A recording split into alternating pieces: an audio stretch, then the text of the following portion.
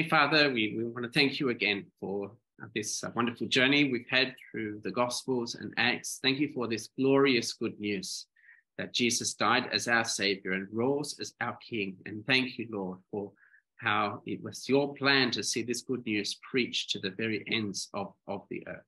And Lord, we pray as we uh, turn again to the book of Acts this evening and think about the theology of Acts, we pray that you'll give us a greater appreciation, understanding uh, of, of this important book. And uh, we pray, Lord, that you would help us to uh, be well equipped to teach it to others in the future.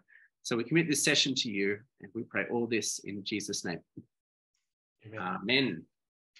Okay, so as I mentioned, we're we're looking at uh, the theology of Acts this evening. Uh, if you look in the the outline that I sent you, there's probably about uh, I don't know about uh, 10 or 11 different uh, different topics here that we that we could talk about. I, I, don't think we're going to get through all of them in, in, in great detail or anything like that, but uh, let's let, let's say something about each of them, and uh, and and then some of them we'll probably dwell on in a little bit more uh, detail. So the first uh, first topic to think about this evening is the topic of the kingdom of God, the kingdom of God, and we we saw in, in Mark's gospel uh, that the kingdom of God was a massive theme in the book of, of Mark. Uh, and it's not surprising then that the theme of the kingdom, it, it then overflows into uh, books like Matthew and Luke uh, as well. And in Luke's gospel, uh, the kingdom of God is, that phrase comes up many, many times. I think it, it's something like 40 times uh, that you find that that phrase in the book of Luke. And that it shows you just how important that, that theme is to the book of Luke, that the phrase comes up so many times. But one of the interesting things when you get to the book of Acts is you don't find that phrase very many times. It only occurs eight times in the book of Acts. And so you might be tempted to think that then that it's not a very important theme uh, to, to Acts. But although the term is not very frequent, the concept is in fact prominent.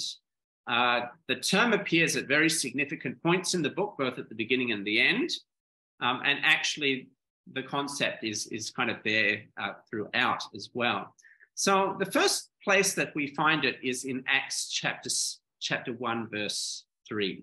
Uh, Acts chapter 1, uh, verse 3. Let me share my screen. And here's the, the risen Jesus appearing to his disciples uh, and we read, He presented himself alive to them after his suffering by many proofs, appearing to them during 40 days and speaking to them about the kingdom of God. And so he's died on the cross, he's risen again, and um, that has ushered in the, the kingdom. Uh, and now he's explaining all of this uh, during these 40 days before uh, the ascension. And uh, then he, he, talks about the coming of the Holy Spirit, and, and the disciples, knowing their Old Testament, they understand that when there's resurrection, when the Spirit is going to be poured out, then that those are two big signals in the Old Testament that the kingdom of God is going to arrive. If you look at the book of Ezekiel, especially chapters 36 and 37, then it, chapter 36 talks about the pouring out of the Spirit. Chapter 37, uh, uh, the resurrection, the valley of dry bones, and all of that. And so the disciples understand that the kingdom of God is about to dawn. And so it prompts their question there in verse 6. Lord, will you, will you at this time restore the kingdom to Israel? Um, and Jesus answers the question. It's not for you to know the times or the seasons the Father is fixed by his own authority, but you will receive power when the Holy Spirit has come upon you. You'll be my witnesses in Jerusalem, in all Judea, Samaria, to the ends of, of the earth. And, and, and that is, as we saw last week, the kingdom's not going to arrive immediately. It's going to happen at the Father's appointed time. And the kingdom's not just going to be for Israel, it's going to be for the ends of the earth. The nations is going to be included. And we see the means by which the kingdom's going to be ushered in. It's as the disciples, empowered by the Holy Spirit, carry, um, uh, bear witness to Jesus and his resurrection uh, to to the ends uh, of the earth. And remember, we looked at the significance of this last week Jerusalem, the capital city where God's king, his Christ, reigns. uh, where God's presence dwells in the temple and so on, where the word of God goes forth. Judea and Samaria, Judea, the southern uh, kingdom, uh, Samaria, the northern, uh, the northern kingdom. Uh, and we saw that the gospel going to these places represented the fulfillment of the reunification of Israel under the Messiah. And then the ends of the earth, we saw that that phrase is echoing Isaiah 49 6. Uh, it's always God's plan that the gospel would go to the nations, uh, particularly through the ministry of the suffering servant, and that's going to be uh, going to be fulfilled. And, and we've seen that this verse is programmatic for the rest of the book of Acts. So therefore, we see actually the whole book of Acts then is about the kingdom of God being ushered in, right? As, as first Jerusalem, Israel, the nations, as they're all brought under the rule of King Jesus, the kingdom of God is arriving, you see. So even, even if the, the term doesn't appear anymore in the book, you can see that this, these few verses cast the shadow of the kingdom across the rest, uh, the rest of the book. Now, uh, sometimes we, uh, the next uh, reference I think is in chapter 8 and verse uh, 12.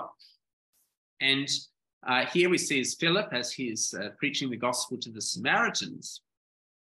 He's preaching the kingdom, right? So we read verse 12 when they believed Philip, as he preached good news about the kingdom of God in the name of Christ, they were baptized, both men and women. Remember, that's what Jesus was doing. Jesus was going about preaching the gospel, he was preaching about the kingdom. And that's exactly what, uh, what, what Philip is doing.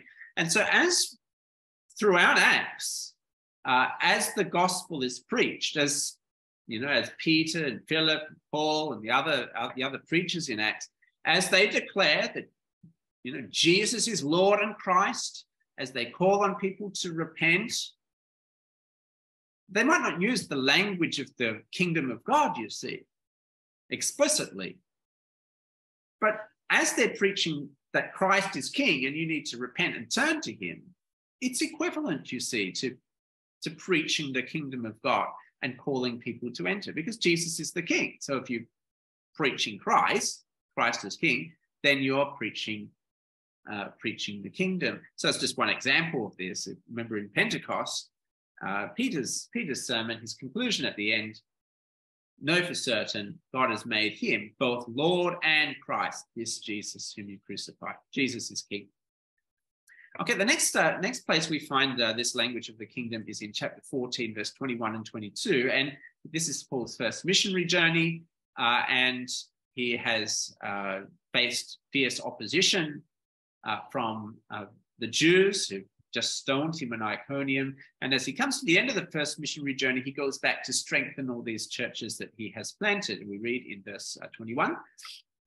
Uh, when they had preached the gospel to that city and made many disciples, they returned to Lystra, and to Iconium, and to Antioch, strengthening the souls of the disciples, encouraging them to continue in the faith, and saying that through many tribulations we must enter the kingdom of God, right? And uh, and so we can see we can see here how uh, being a faithful disciple and trusting Jesus to the end. It's about entering the kingdom, being being there on that last day as King Jesus is revealed, and we are brought uh, we are brought in with him. Now, the next the next place we find is in Acts chapter twenty and verse uh, twenty four. And again, this is a significant point in Acts. This is uh, the end of uh, uh, this is uh, in, chapter 20, this is Paul's farewell address to the Ephesian elders just before he goes to Jerusalem to be uh, where he is going to be arrested and brought on trial and so on. So it's kind of this is the closing really of his missionary efforts. He begins in chapter 13, he ends in chapter 20, and chapter 20 here he's kind of summarizing the, the, the, nature of his mission, missionary endeavors and looking forward to his, his arrest. Uh, and so look how he, he summarizes uh, his, his message here. And let's look at verse uh, 24. He says, But I do not account my life of any value, nor as precious to myself, if only I may finish my course and the ministry I received from the Lord Jesus to testify to the gospel of the grace of God. I think that is such a marvelous, uh, you know, mission statement that we could have for our life. You know, say, look, the only thing that really matters to me, the only thing that's of true value in my in my life, it's not myself, it's not, it's not even my family or my ministry, or the thing that really matters to me. So I can testify to the gospel of the grace of God.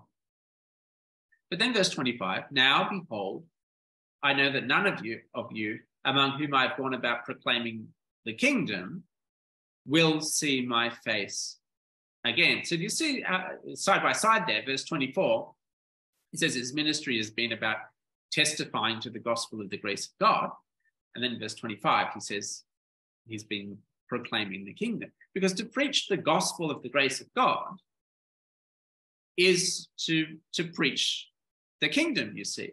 Right?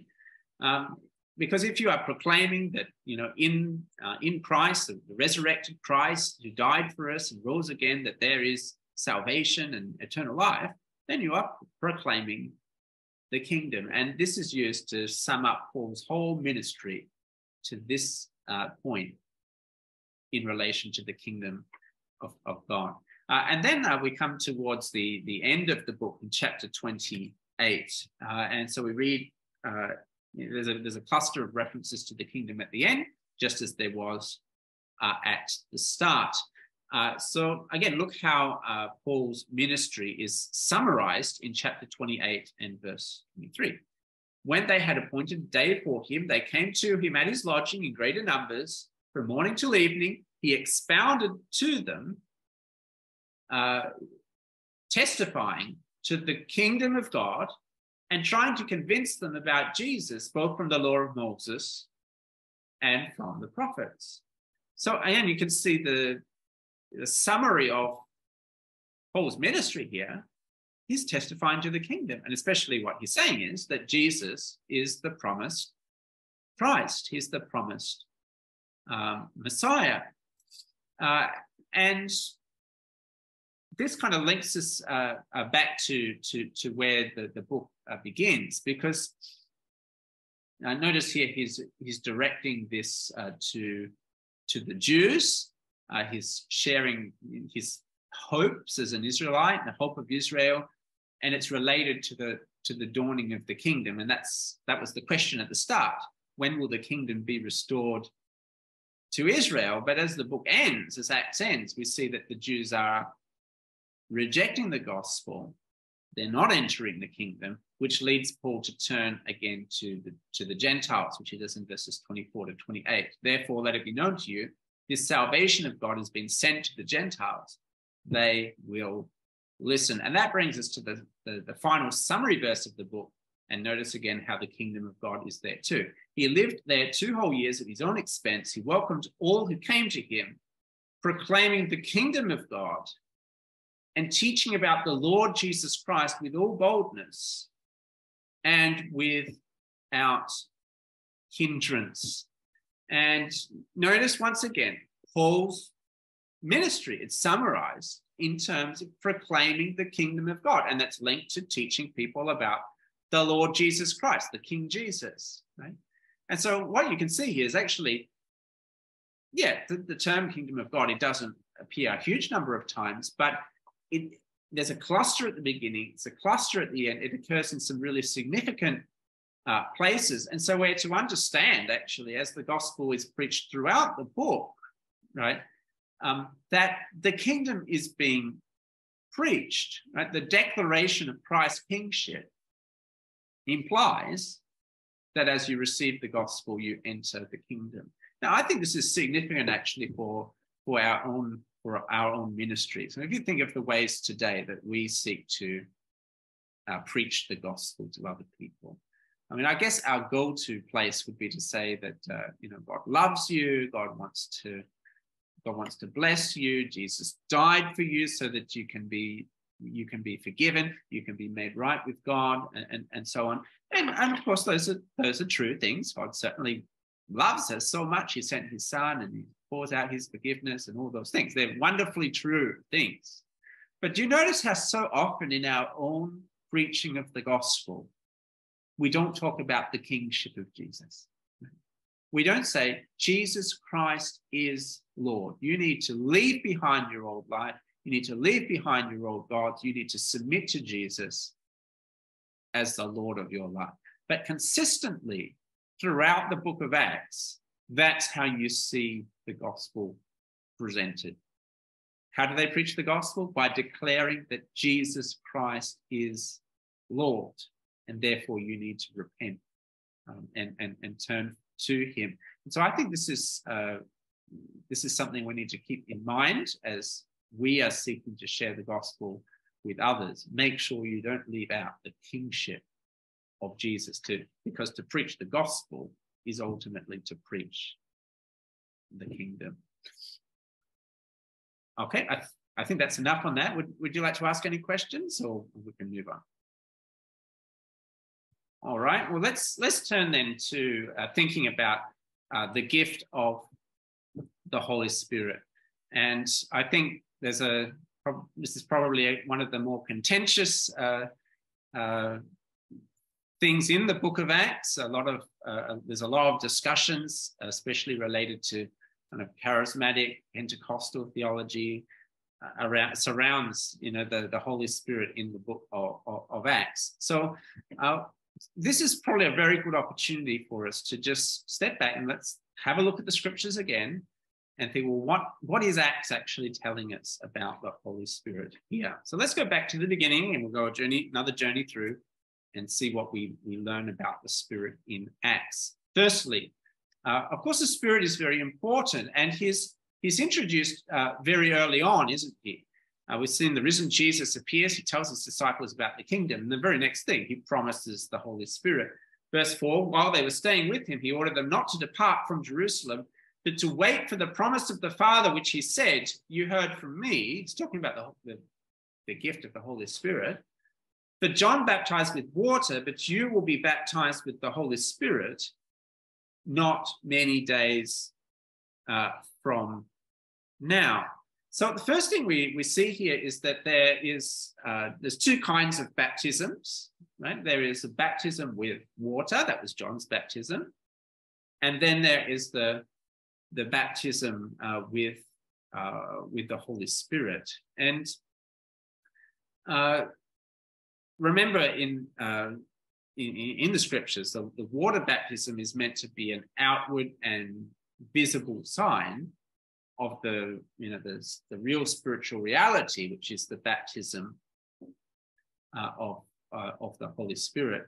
So we have a promise, and of course, it was first uh, promised uh, by uh, by John the, uh, John the Baptist spoke of it. Jesus repeats it here at the beginning of of Acts, and then in verse seven, we're told uh, verse 8 you will receive power when the Holy Spirit has come upon you, and you'll be my witnesses in Jerusalem, in all Judea and Samaria, and to the ends of the earth. So the Spirit is going to be the one who empowers them uh, for their mission uh, to uh, to the nations.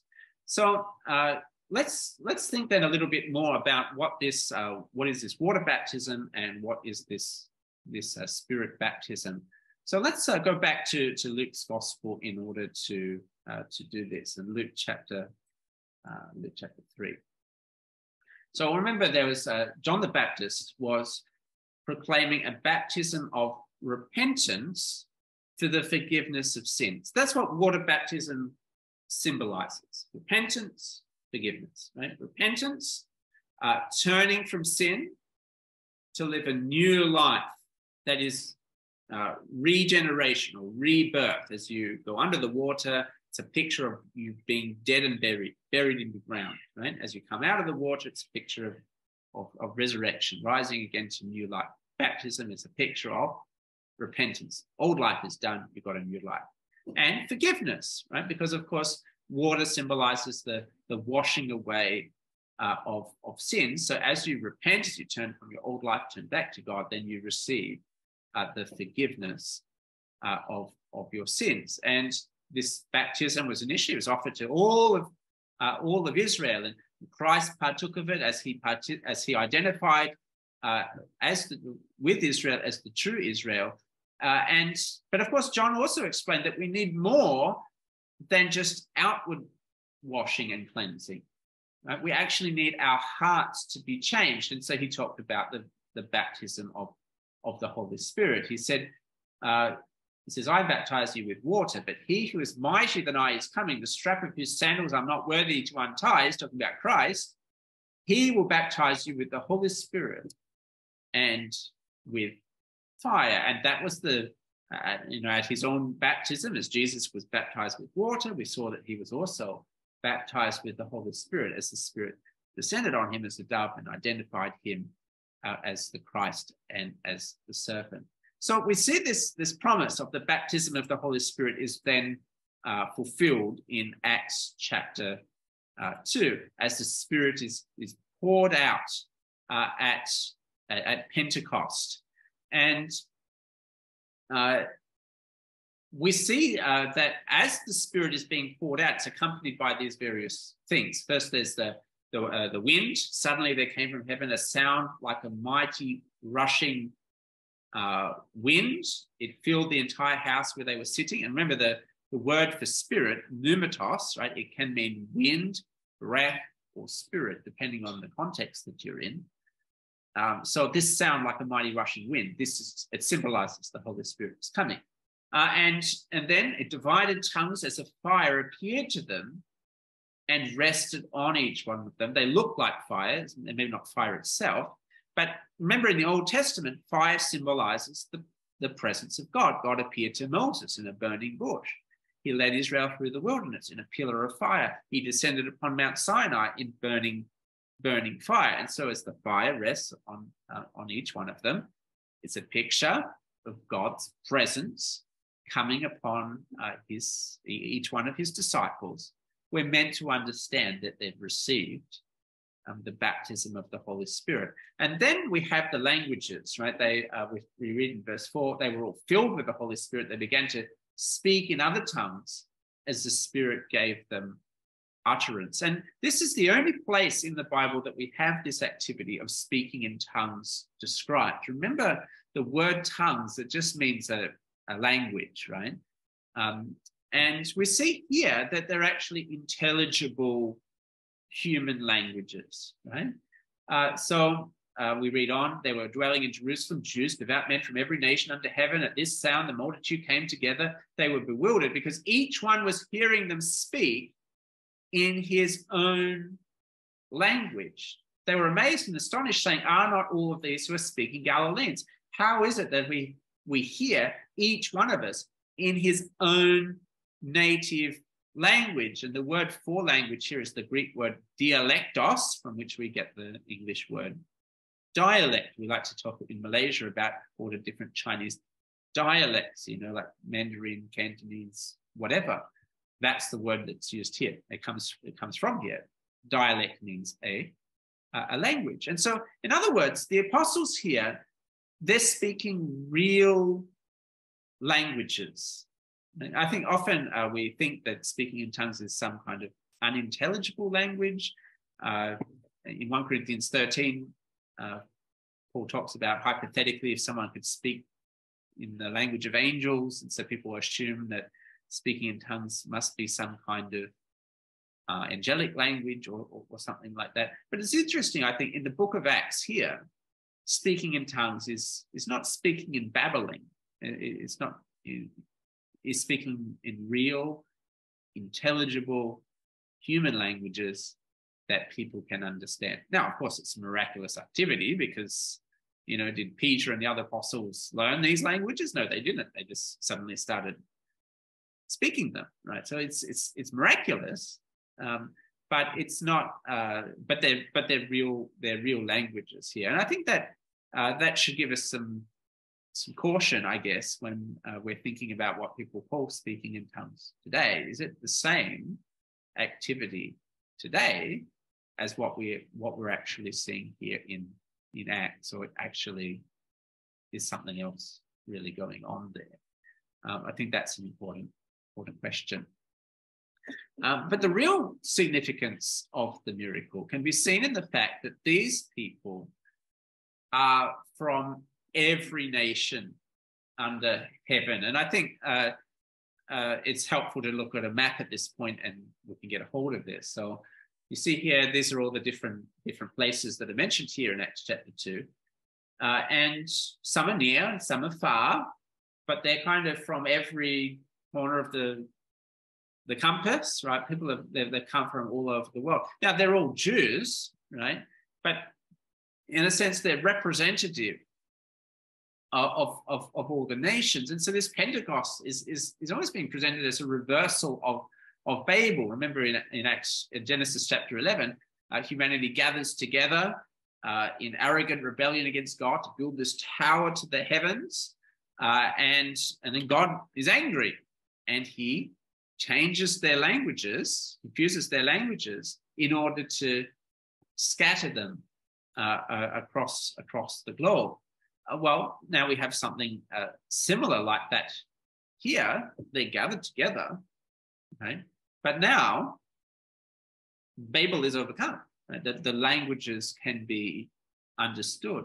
Now, it's not a permanent thing. I think this is only a maybe a foretaste of what heaven is is going to be like. I take it that Babel is ultimately only going to be overcome fully in in heaven. I don't know how it will be. Will it be that we will all understand every single language, or will there only be one language or common language we can all speak? I don't know, right? Um, but that's where it's ultimately going to be uh, going to be fulfilled. But there's a foretaste. Uh, there's a foretaste of it um, happening here, and that's the that's really the true significance of of Pentecost. It's it's not so much about the, the, the charismatic gifts themselves, but here is God's Spirit enabling his people to, to bear witness to him and to bear witness indeed to, to all of, of the nations. That's what they say in verse 11.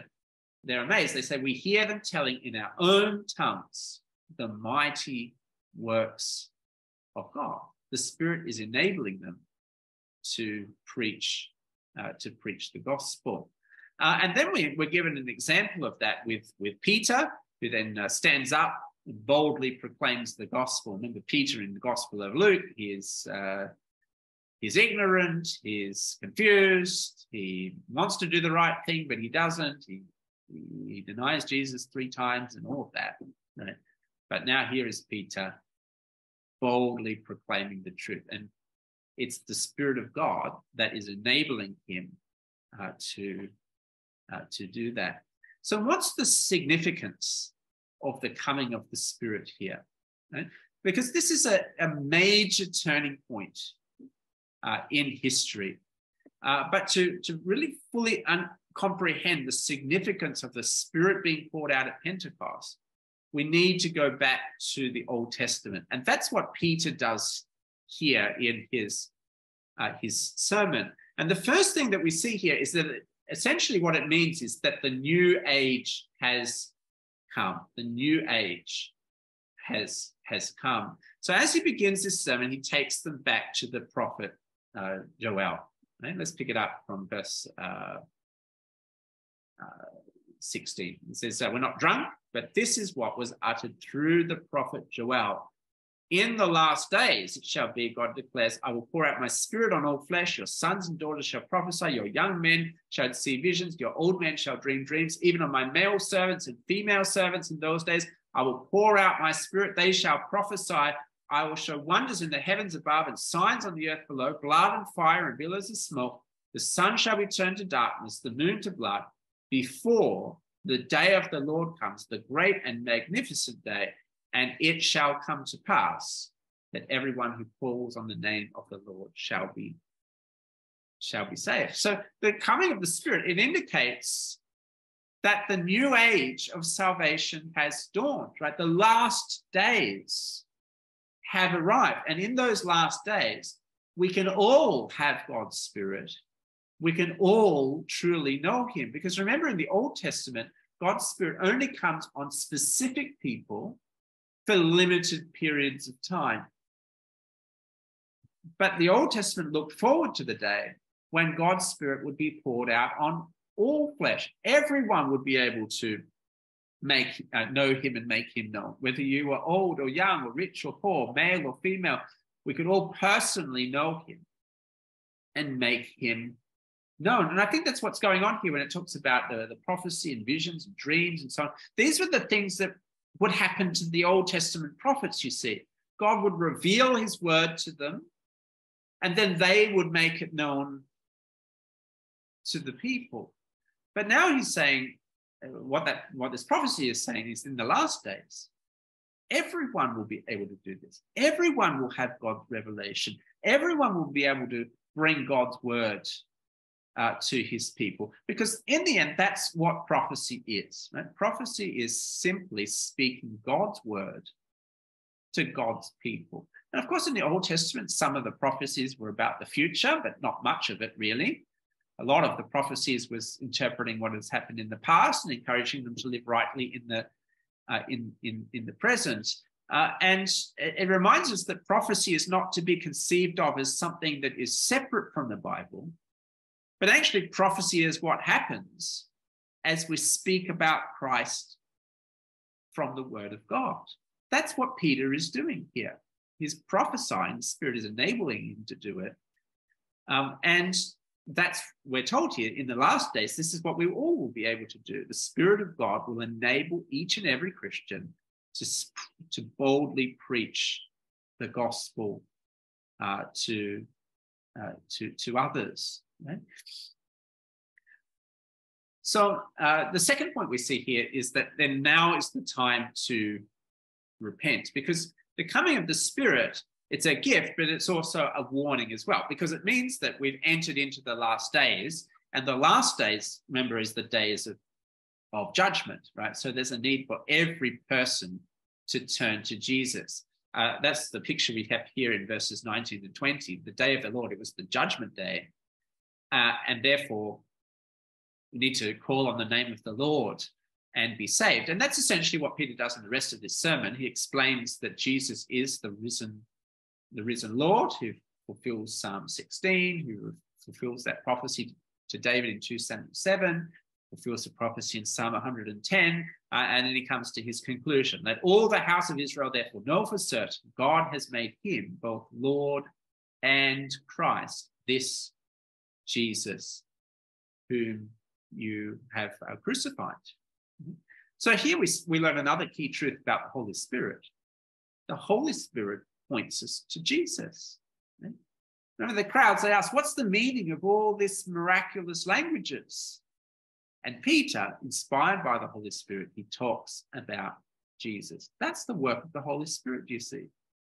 The Holy Spirit points us to Jesus as Lord he works in our hearts so that we receive him as Lord. And then he takes up his dwelling in our hearts that we may then boldly proclaim his lordship uh, to, to others. So, how do we receive the holy, the gift of the Holy Spirit or the, the baptism of the Holy Spirit? Well, Peter tells us here at the end of the sermon.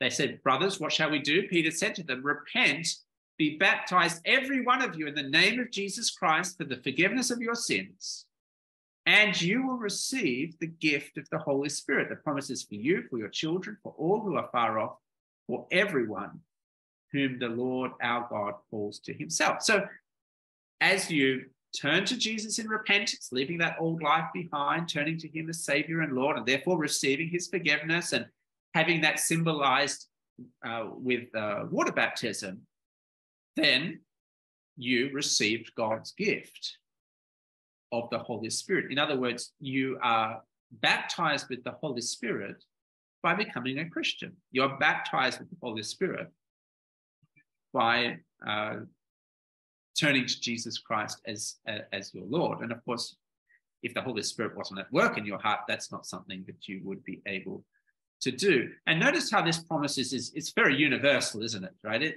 the promise is for you, your children, all who are far off, everyone whom the Lord our God calls to himself. It's, it's really emphasizing, isn't it, that this promise of receiving the baptism of the Holy Spirit is for all people. Now, this is important. Why? Uh, because we're about to talk about this second blessing theology that you'll find in some uh, charismatic uh, circles today. Uh, and what is taught there is that it's a two stage process. You become a Christian, you receive water baptism at the start, and then sometimes subsequent to that, certain Christians, not all Christians, receive the baptism of the Holy Spirit, evidenced by speaking in tongues, and enables them to live a, a powerful, victorious uh, Christian life, right? It's a kind of a theology that you'll find, for example, in Alpha courses, right? You have the first part to become Christian, and the second part, Holy Spirit weekend, where they hope that you will be baptized with the Spirit and speak in tongues, uh, and, and so on. Uh, that's not the pattern that we have set forward here in Acts chapter 2. You hear the gospel, you respond in repentance, and you, you receive the gift of the Holy Spirit. It's universally available and it's given to all people at their conversion. Now, you might ask them, well, where does the second uh, blessing theology come from? And of course, it's because there are these odd repeats of Pentecost that happen three times uh, further on in the book of, of Acts. So let's look at each of these uh, uh, one by one. So the first one of these we see is in Acts chapter 8, verses uh, 14 to 16. And this is as the gospel goes to uh, the Samaritans for the first time. So let's come to chapter 8, verse 14. Now, when the apostles at Jerusalem heard that Samaria had received the word of God, they sent to them Peter and John, who came down and prayed for them that they might receive the Holy Spirit. For he had not yet fallen on any of them, but they had only been baptized in the name of the Lord Jesus. Then they laid their hands on them and they received the Holy Spirit. So it's a rather odd little situation here, isn't it? The Samaritans have become Christians. They've received the water baptism as expressing that, but they haven't yet received the baptism of the Holy Spirit. That only happens after Peter and John, two of the key apostles in the church, come, personally lay their hands on them, uh, and then they receive uh, the Holy Spirit. It, you know, this looks like two stage process, isn't it? It seems like second blessing um, theology. Now, it doesn't say that they spoke in, in tongues at this point, but presumably that's that's what happened here. That's how they knew the Spirit had fallen on them. Uh, so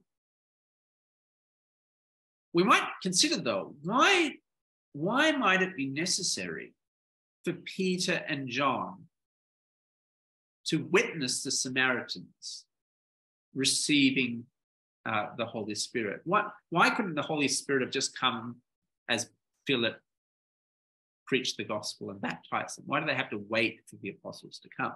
So one of the one of the things that we have to keep in mind when we're reading the book of Acts is we've got to ask: Is this prescriptive or is this descriptive? As in, is this prescriptive? Is this a pattern that we are to expect to happen in the lives of all subsequent believers? Or is this descriptive? Is this talking about something that is specific and unique, something that happened but won't necessarily always happen um, to every single believer? And it seems to me like the, pre, the prescriptive pattern seems to be given in Acts 2, right? Where Peter was saying, you know, this is for you, it's for your children, all who are far off, everyone whom the Lord our God calls to himself. That that that sounds prescriptive to me. He's he's saying, look, this is what's going to happen throughout all generations and all places. This is this is what you are to you, you are to expect.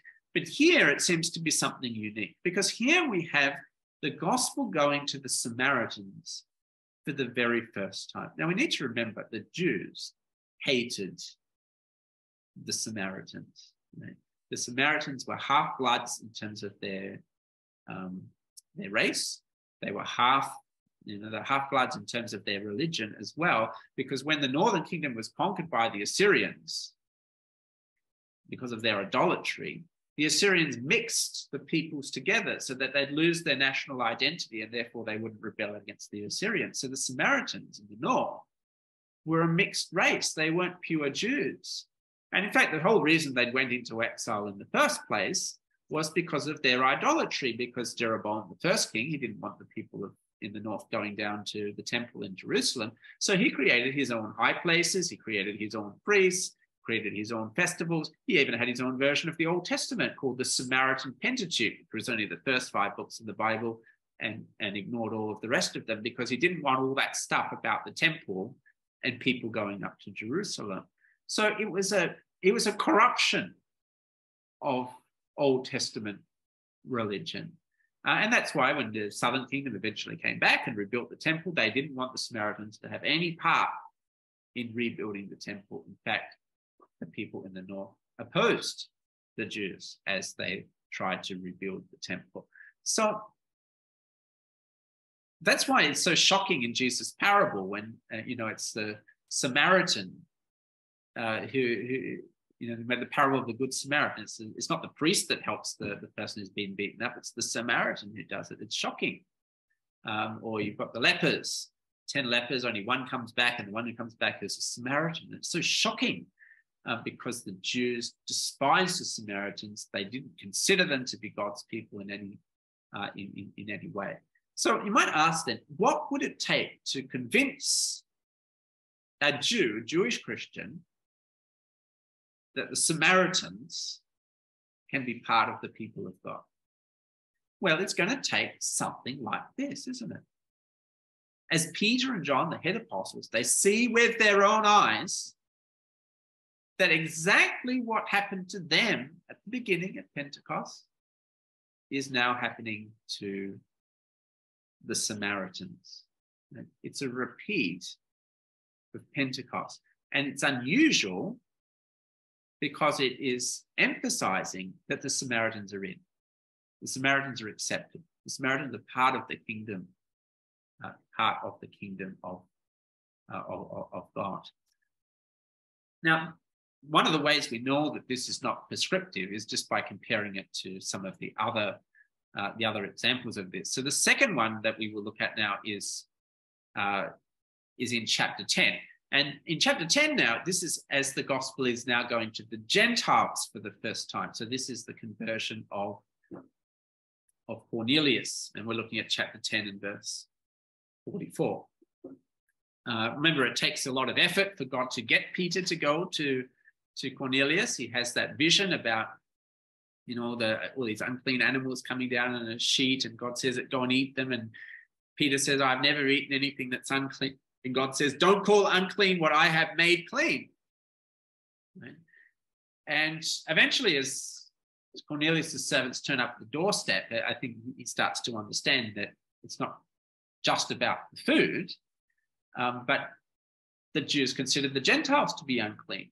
The Jews weren't allowed to eat with the Gentiles, it was prohibited, and so on. But now Peter goes. Uh, he goes to Cornelius' house starts preaching the message to them. And then, verse 44 while Peter was still saying these things, the Holy Spirit fell on all who heard the word. And the believers from among the circumcised who come with Peter were amazed because the gift of the Holy Spirit was poured out even on the Gentiles. For they were hearing them speaking in tongues and extolling God. And Peter declared, Can anyone withhold water for baptizing these people who have received the Holy Spirit just as we had, He commanded them to be baptized in the name of Jesus Christ. Notice here the order is reversed, right? With the Samaritans, they hear the gospel, they are baptized with water first, and then they receive the Holy Spirit later. This is the opposite. They received the Holy Spirit before Peter's even finished his sermon, and uh, witnessing this, Peter Peter then gives the, the, the water baptism. So neither of them can be prescriptive because the the order of the events is reversed uh, in, uh, in, in the two occasions. But uh, then Peter reflects on this in the, in the next chapter because the people are all rather upset that Peter has gone and, uh, and, and, and, eaten with, uh, with, with the Gentiles. You can see what they're, what they're saying. Uh, the apostles, the brothers who were throughout Judea, heard that the Gentiles had also received the word of God. So when Peter went up to Jerusalem, the circumcision party criticized him, saying, You went to uncircumcised men and ate with them. Because Jews are not meant to eat with Gentiles.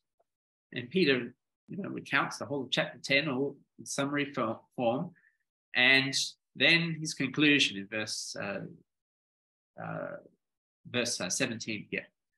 If then God gave the same gift to them as he gave to us when we believed in the Lord Jesus Christ, who was I that I could stand in God's way? And they heard these things that fell silent, they glorified God, saying, Then to the Gentiles also God has granted repentance that leads uh, to life. Uh, so do you see? Uh, do you see the point here? Right, the the repeat of Pentecost with Gentiles then is emphasizing that they're also into, right? they're also accepted as God's people. But it's not a prescriptive event. It's not that every time that someone becomes a Christian that, you know, there's going to be, you know, speaking in tongues happening and, you know, no, it's not, that's not the point of, of, of what's going on here. In fact, there are lots of times uh, when, when that doesn't happen. So, for example, if we were to go back to, I know the conversion of the Ethiopian eunuch in chapter 8, Philip, Philip goes to him, preaches gospel to him, and he gets baptized um, with water, but there's, there's no mention of him uh, you know, speaking in tongues or, or any, anything miraculous like like that happening here. And that's that that that's normal. That that's the normal thing, the normal pattern that you see throughout the book of Acts. There's only these three repeats of Pentecost where you have the tongues and the whole, you know, the whole thing. Uh, the rest of it, the rest of the times, it's just quite quite normal. Now, the last uh, one, just for completion here, is in, in Acts chapter 19, and uh, this is uh, one of my favorite stories, I think, in the book of, of Acts uh, Paul encounters these disciples in Ephesus, uh, he's and it's really odd. They're, they're, they're called some disciples. remember, a disciple that means a follower, right? a student. But if you're going to be a follower, you can't just be a follower, can you? You, you have to be a follower of something. But here they're just called disciples, they're followers. And so he wants to check are these people Christians or not? He said to them, Did you receive the Holy Spirit when you believed? Because you can't be a Christian without having the Holy Spirit. They said, No, we haven't even heard that there is a Holy Spirit. And so he asked the next question Into what then were you baptized? Because if you're a real Christian, you will have been baptized. They said, Into John's baptism. And then the penny drops. Okay, they've uh, somehow they've John the Baptist was preaching in the Jordan. They went over there, they got baptized with him, they went home and they they never heard about Jesus, they never heard the gospel, they never became Christians. They they're kind of followers of John the Baptist or something like that. And so, what does uh, what does Paul do? Because they're clearly not Christians at this this point; they haven't been converted yet. Well, he preaches the gospel to them, tells them about Jesus, and then he baptizes them in the name of Jesus. The Holy Spirit falls upon them. They begin speaking in tongues. There was twelve men in uh, twelve men in all. So uh, again, the gospel is, is crossing a barrier here, and it's emphasizing that even those who receive John's baptism, they too need to be converted. And as they do, they are they're they're accepted as God's as, as God's people, as evidenced by the giving uh, of of the Holy Spirit. So uh, a helpful thing when we're reading uh, the Book of Acts or the Gospels as well is if we if we're trying to draw some conclusion from Luke Acts because it's narrative. It's always a bit uh, tricky to do so. It's always good to check your findings with the epistles because the epistles is where you find what normative Christianity uh, is, is, about, right? Uh, and so, you know, if you if you found that the New Testament epistles teaching about second blessing theology or something like that, then okay, then that would be something that would be more compelling. But of course, you don't find that there um, we, we, find something different. So one passage that we could look at here is uh, 1 Corinthians chapter, uh, chapter 12. And uh, here Paul begins, now concerning spiritual gifts, brothers, I don't want you to be uninformed.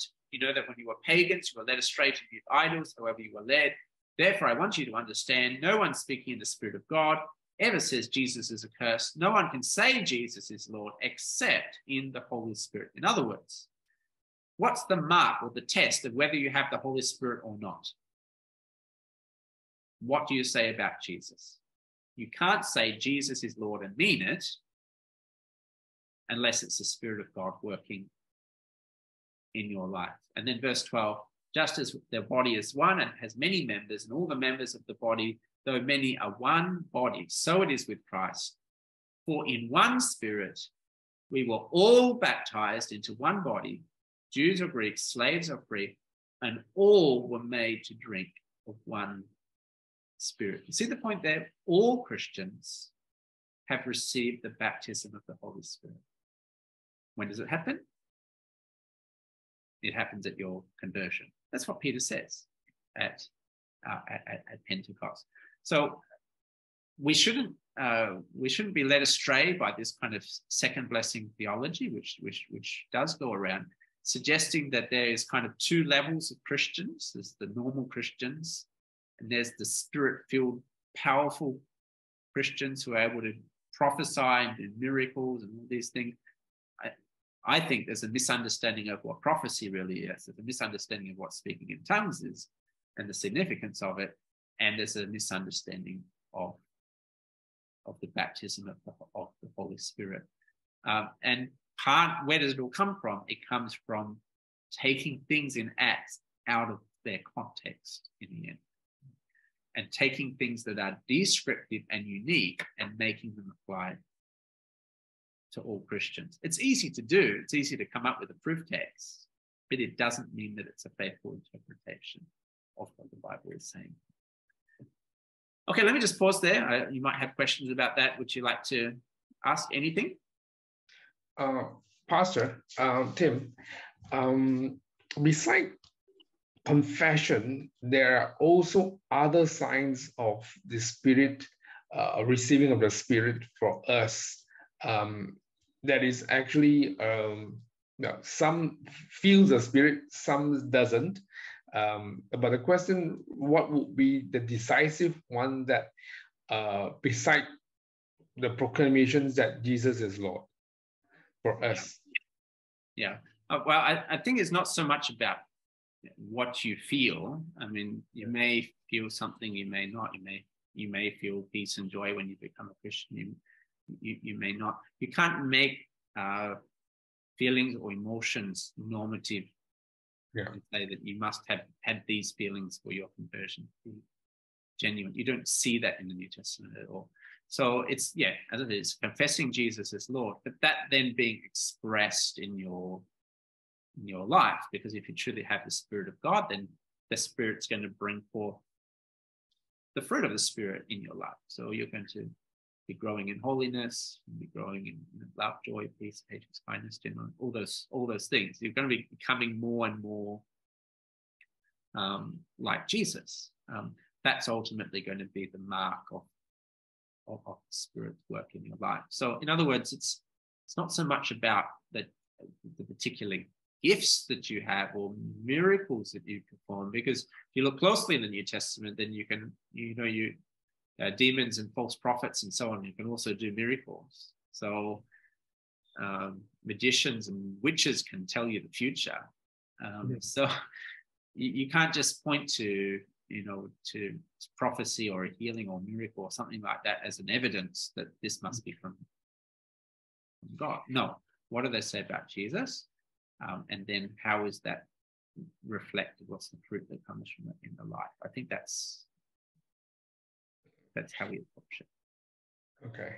Um, I mean, the other thing is that, um, well, I think this leads on to maybe the next one that you're probably going to touch on, which is actually the baptisms uh, of the Spirit itself, uh, which is how can we know or that the person is safe? Uh, it's not certainly not baptism of the water, but certainly it's actually um, how much uh, God is working in their lives, and then we be able to tell that He is safe and He has received the Spirit and He understands His word and is living that that that the, the life that is changed by the Spirit.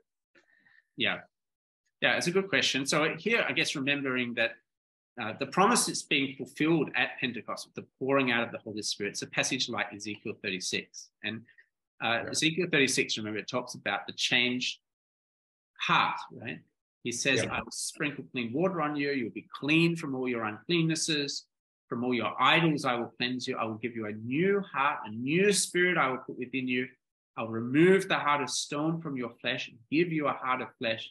I will put my spirit within you and cause you to walk in my statutes and be careful to obey my, my rules. So, in other words, as the spirit is poured out and comes to dwell in our hearts, our hearts is changed.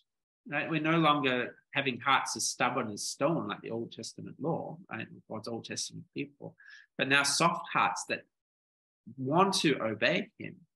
Um, and you kind of see that in uh, in, in Acts 2, Acts chapter 2, the Spirit is poured out and the church is created. 3,000 people converted on that, that first day. And notice the fruit that is then expressed in it. Right? Uh, they devoted themselves to the apostles' teaching, to fellowship, to breaking bread and prayers. All came upon every soul. Many wonders and signs were being done through the apostles. All who believed were together. They had all things in common. They were selling their possessions and belongings and distributing the proceeds to the poor, uh, to all as any had need, day by day, attending the temple together, breaking bread in their homes. They received their food with glad and generous hearts, praising God, having favor with all the people the Lord added to their number day by day, those who were being saved. So you see, there's this radical transformation in them, right? Uh, they love each other essentially. They they're, they're willing to sh- share their possessions, whatever they have, to help other people. That's not how people normally live. People keep their possessions for themselves. We all know that.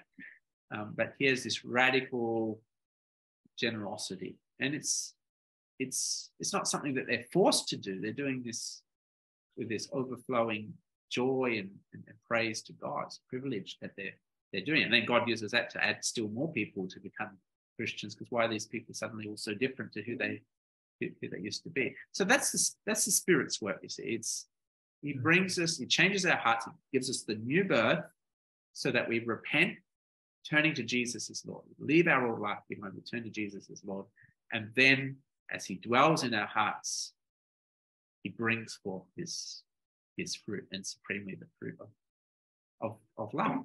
Yeah. And so that's going to be the mark of whether someone's truly a Christian. Yeah, I, I think it probably my, my difficulty is actually to know how it has changed a person because sometimes it may be only a very slow change in a very long period of time before it gets to be seen. Yeah. So that that's the the difficulties in in actually identifying that. And there are some who are less change and we don't know. Yeah. Yeah. Yeah, yeah. i think i mean i think we have examples of like like that even in the book of acts itself. So so for example in acts chapter 8 you have uh, simon the magician who's uh. you know converted right? And beforehand, right there, he's doing magic. He's got the whole, he's captured the amazement of everyone in Samaria. They all paid attention from the least of the greatest, saying, This man is the power of God that is called great. So they're treating him as some kind of, of, of God. He's using his magic to serve his own importance and so on. Um, but then uh,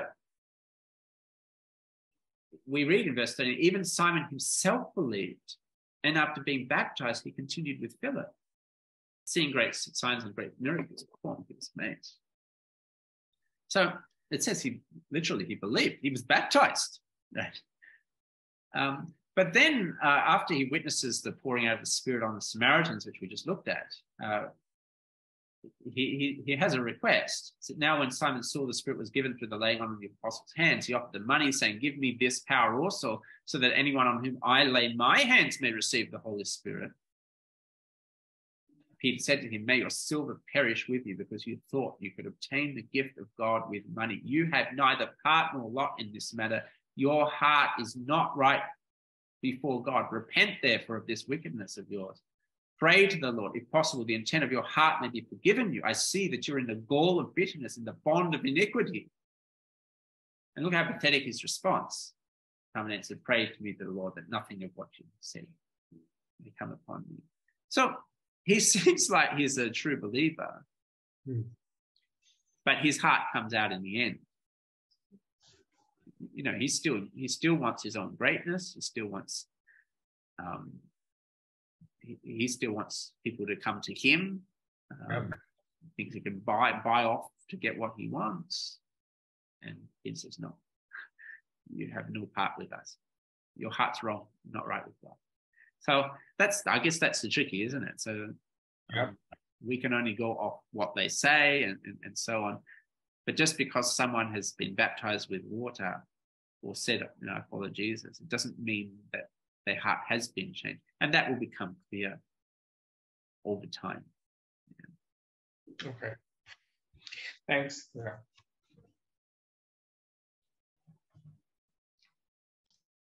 Okay, any other questions here?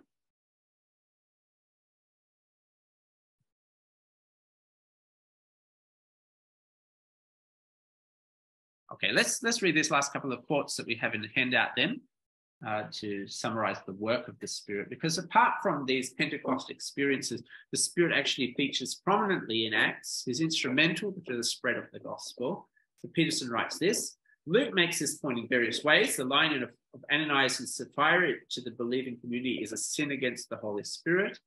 Uh, the Spirit is instrumental in building and strengthening the church on a wide scale, enabling it to live in the fear of the Lord and go for, forward with encouragement or comfort. The Spirit endows and equips various individuals for ministry within and between the churches. The Spirit guides the Jerusalem church to make a decision that will enable Jews and Gentiles to live and work together in the churches. The Spirit's work may therefore be assumed in summaries of church life and ministry, such as chapter 2, chapter 4. Turner rightly acknowledges secondary missiological effects from these activities. Right? So, Spirit is doing a lots of stuff, not just the uh, not just this uh, repeats of Pentecost. The Spirit is given as much to create life in the kingdom, conversion, transformation, relationship building, as for the numerical growth of the kingdom through prophetic ministry and mission outreach. And Then the last quote. In summary, the Spirit fundamentally communicates the blessings of a relationship with God through faith in Christ. The Spirit then works through those who have turned to the Lord Jesus, enabling them to communicate salvation to unbelievers and make disciples. Believing communities are established by the Spirit in which gifted individuals minister to one another to edify the church and make it grow. Together with angels, heavenly voices, and visions, the Spirit initiates new phases of mission and oversees the direction of the mission. The Spirit establishes and preserves unity between different racial and cultural groups in the church, providing guidance in important ecclesial and personal decisions. As the Spirit imparts wisdom and knowledge of the risen Lord, he affects change in the life of believers on a communal as well as an individual uh, level. So uh, we don't have time really to flesh out all of that in detail, but I think just taking the you know the overall vibe of the quote there is that the Spirit is active throughout the book of Acts, not just bringing conversion, but empowering people to boldly preach the gospel and then transforming lives as a result. Okay, so our, ne- our next theme here, we're thinking about the progress of, of the word of, of God. And of course, when we're, we're talking about the, uh, the word here, ultimately, we're talking about the gospel itself, right? Uh, and uh, as we see here, Luke places great emphasis on the spread of the word of God, the gospel, through its constant proclamation as the means by which churches are planted, grow strong, and reproduce. Luke is particularly interested in the way the word, by which he means the message of Christ, is preached, received, and grows in Jerusalem, in all Judea, Samaria, and to the ends of the earth. Luke's emphasis is on the triumph of the word of God in the face of many difficulties and much uh, opposition. And it's clear then that the way that the gospel grows uh, is as it's boldly preached in the face of uh, persecution in the power of the Holy Spirit. That's I think that's Acts chapter 1, verse 8, isn't it? You will receive power when the Holy Spirit has come upon you. You will be my witnesses in Jerusalem, in all Judea and Samaria, and to the ends of the earth. And I think what we see as we move through the book of Acts, that this and empowerment is not simply for doing miracles, although there are simply there are plenty of uh, spectacular miracles in Acts. Uh, but the Spirit is is actually empowering people for bold proclamation uh, of of the gospel. Uh, and perhaps here we could we could introduce a, a, slight distinction in the book of Acts between being baptized with the Holy Spirit and being filled with the Holy Spirit. Right? Uh, baptism with the Holy Spirit is something that happens at your conversion, right? And it's something that happens to all believers, and it only happens once, right? Whereas uh, being filled with the Holy Spirit, it seems, is something that can happen more than once, right? And usually this filling with the Holy Spirit is associated with the bold proclamation uh, of, of the gospel. So, if, so for example, uh, we were looking at uh, Acts chapter 2, uh, Peter is filled with the Spirit, and then what does he do? He gets up and he preaches boldly to the crowd and calls them uh, calls them to repentance. Uh, we'll see another example in, in Acts chapters 3 and 4. Acts chapters 3 and 4. So, of course, in Acts chapter 3, we have this uh, lame beggar healed, and then uh, Peter preaches uh, the name of Jesus uh, in, uh, in the temple. And they get a, they get arrested and they're charged in chapter four and verse uh, chapter four and verse eighteen not to speak or teach at all in the name of Jesus. And Peter and uh, John reply with great boldness. They say, whether it's right in the sight of God to listen to you rather than God, you must judge. For we cannot but speak of what we have seen and and heard. So they say, look, no, we're going to go on preaching the gospel. You can't, you can't stop us. And as the chapter closes, we find out that the other believers have been praying, praying for boldness uh, to preach, uh, preach the gospel. We'll pick it up here at verse 31. When they had prayed, the place in which they were gathered together was shaken. They were all filled with the Holy Spirit so again, this, this, this is a subsequent to their conversion. They're already Christians at this point. They were all filled with the Holy Spirit and they continued to speak the word of God with boldness. So the filling with the Spirit is empowering them for bold proclamation um, in the midst of, uh, of, of, of persecution. Uh, so uh, we see another similar example of this in, in, in Acts chapter 12 of the unstoppable, you know, progress of the word of God. Uh, beginning of the chapter, we have uh, James, the brother of John, is killed, and then Peter, the apostle, uh, arrested. And of course, uh, Peter is miraculously rescued out of out of the of, of the prison and somewhat humorously, he, he knocks on the door of the people who are praying for him. And the girl, Rhoda, she's so happy that she forgets to open the door and leaves Peter st- standing there out, uh, out outside. So again, Peter's James loses his head. Peter is released, and the chapter ends with uh, with Herod, who's done all this, uh, dying. They, they, they, praise him, saying, "Look, at the voice of a God and not a man." He's struck down and then the summary statement here that the word of God increased and uh, multiplied. So the gospel continues to advance and advance and advance in the face of, of opposition, persecution. I mean, it must have been looking pretty bad when James was dead and Peter was in prison. Were, the church was thinking the worst. But it continues to, to progress, continues to progress. I mean, Saul in chapters chapters uh, six and seven is going around with this vicious persecution of the church. Must have looked quite bad. Chapter eight, all the believers are scattered as they run away, uh, trying to escape the persecution. But we're told here those who were scattered went about preaching the word. And that leads to the conversion of the Samaritans. There's much joy in the city. So you start the chapter 8, verse 1 starts here with there was a great persecution against the church led by Saul.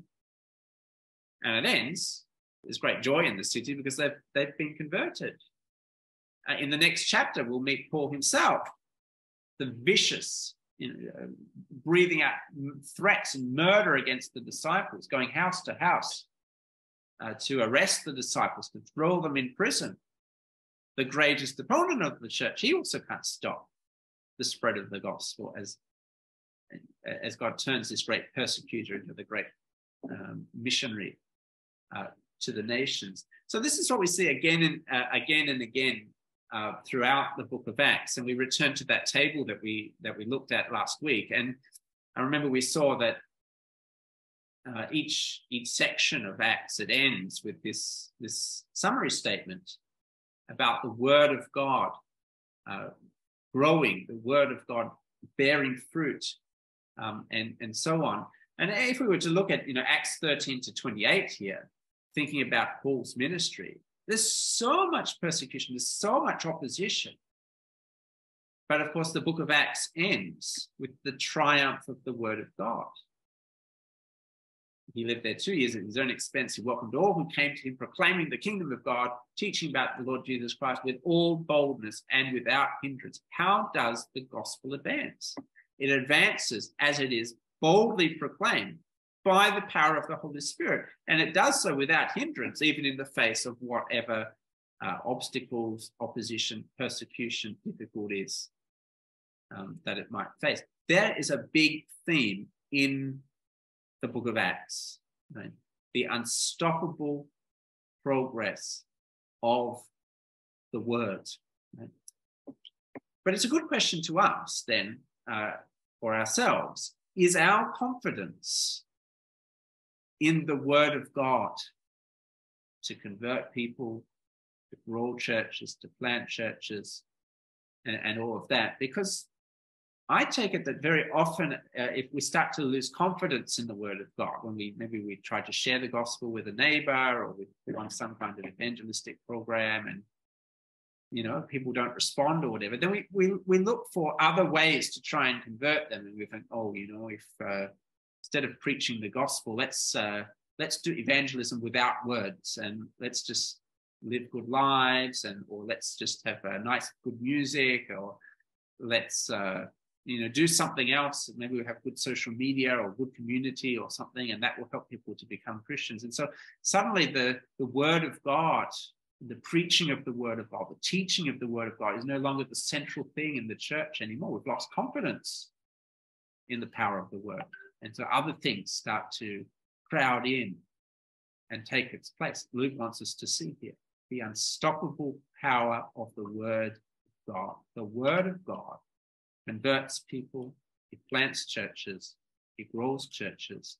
We should never stop uh, preaching the Word, but it happens as we boldly preach the Word in the face of uh, of, of opposition.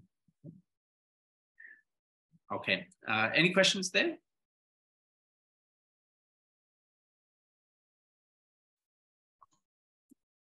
Um, probably this is just another oppositions of what we don't understand well of the book of Acts.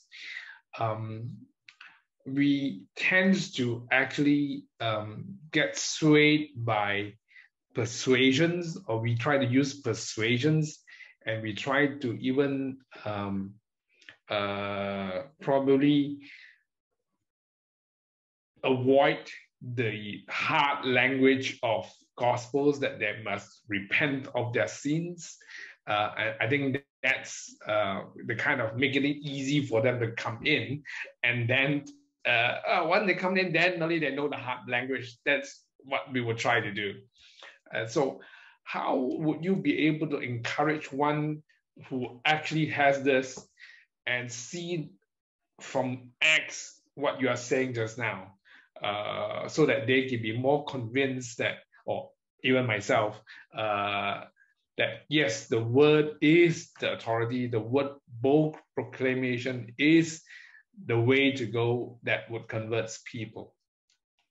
Yeah.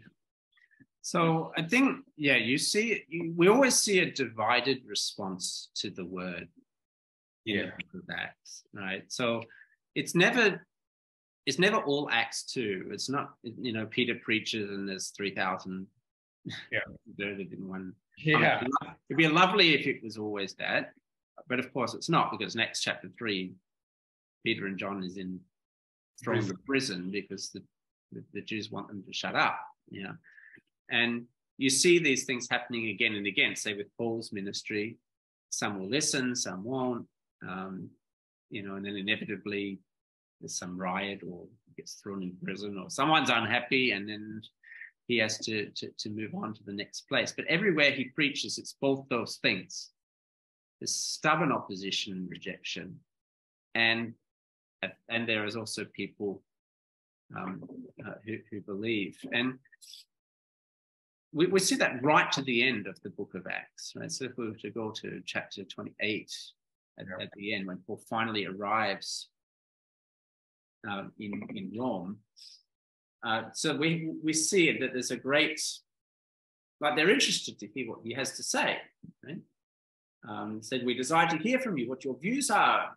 For with regard to this sect, we know that everywhere it's spoken against. When they had appointed a, a day for him, they came to him at lodging in greater numbers from morning to evening. He expounded to them, testifying to the kingdom of God, trying to convince them about Jesus, both from the law of Moses and from the prophets.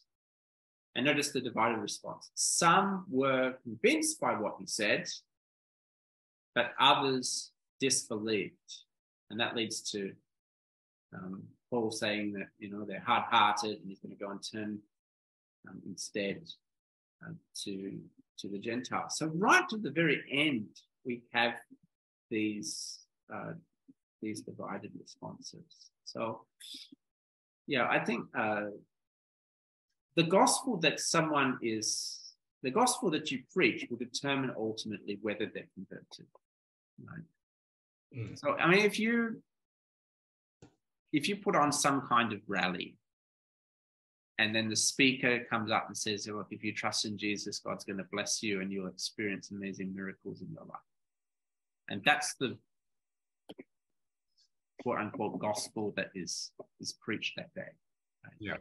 You go up the front and you, you know, you give your life to Jesus and you slain by the Spirit, whatever else happens to you that that day. So you go away from there thinking that you're a Christian you're probably not. Is Jesus Lord of your life? If you turned away from your old life to submit to Him and obey Him in every part of life, that was not the decision that was made. You just came to Him to, to get some kind of blessing and power. And so, what happens often then later on in life? Because you're not, you're not going to escape suffering for your entire life. It's going to become a point where you're going to face some kind of um, suffering. Right? Yeah. But if that's the gospel that you've been converted with, converted with, God's going to bless you, then when that doesn't come true in the future, you're going to give up. You're going to walk away. You know? Whereas if you have been converted with the, with, with the, the true gospel has been preached, Jesus Christ is Lord, repent and believe. Um, yeah, a lot of people is not going to be interested. A lot of people is going to turn away. A lot of people might be feeling offended or unhappy with it. But those who do genuinely believe as the Spirit works in their life, they'll be actually converted and, and they'll, they'll go on following Jesus in, in, in, long, in the long term because they, the, the conversion is genuine, that they've submitted to Jesus as, as, as the Lord of their life. And that's what makes someone Christian. Uh, Reverend, uh, I want to ask if those people we already uh, told them about the gospel and they rejected. So we do we just leave them alone or we just still persist on? yeah. Yeah, uh, it's it's a, it's a good question, and it's an interesting one that comes up in Acts itself because you see, uh, uh, the, again and again, Paul Paul preaches the gospel first to the Jews. They reject it, and he goes to the Gentiles. This happens again and again, right? So let's look at chapter uh, chapter 13 here. And so he preaches in Pisidian Antioch. They reject his message. He says it was necessary that the word of God be spoken first to you, since you thrust it aside and judge yourselves unworthy of eternal life. Behold, we're turning to the Gentiles. For so the Lord has commanded us. I've made us you a light for the Gentiles, that you may bring my salvation to the ends of the earth. Now you read that, and it sounds like Paul's done with the Jews, right? He's tried, didn't work, they rejected it, forget them. He's the apostle to the Gentiles anyway. Let's go and preach to else. Gentiles. But then you read on, just a couple of verses later, what does Paul then do? He goes on to the next city, to Iconium, and then at Iconium, they entered together into the Jewish synagogue. so they don't actually abandon the Jews at all. They, they, they go back into the, the synagogue again. Of course, the same thing repeats. Unbelieving Jews stir up the Gentiles, poison their minds against them, and then you know he's, he's, he's chased out to the next place and the next place, next place. So yeah, so Paul says that their rejection means it's turning to the Gentiles, but then he keeps going to the Jews again and again. Um, and, and, again. So I, I mean, I, I, take it that we don't um, we don't ever give up on bringing the gospel to people. Yeah, we recognize ultimately it takes God's spirit to change their hearts, and if God can transform someone like the Apostle Paul, then surely there is no one who is too far gone that he can't save them.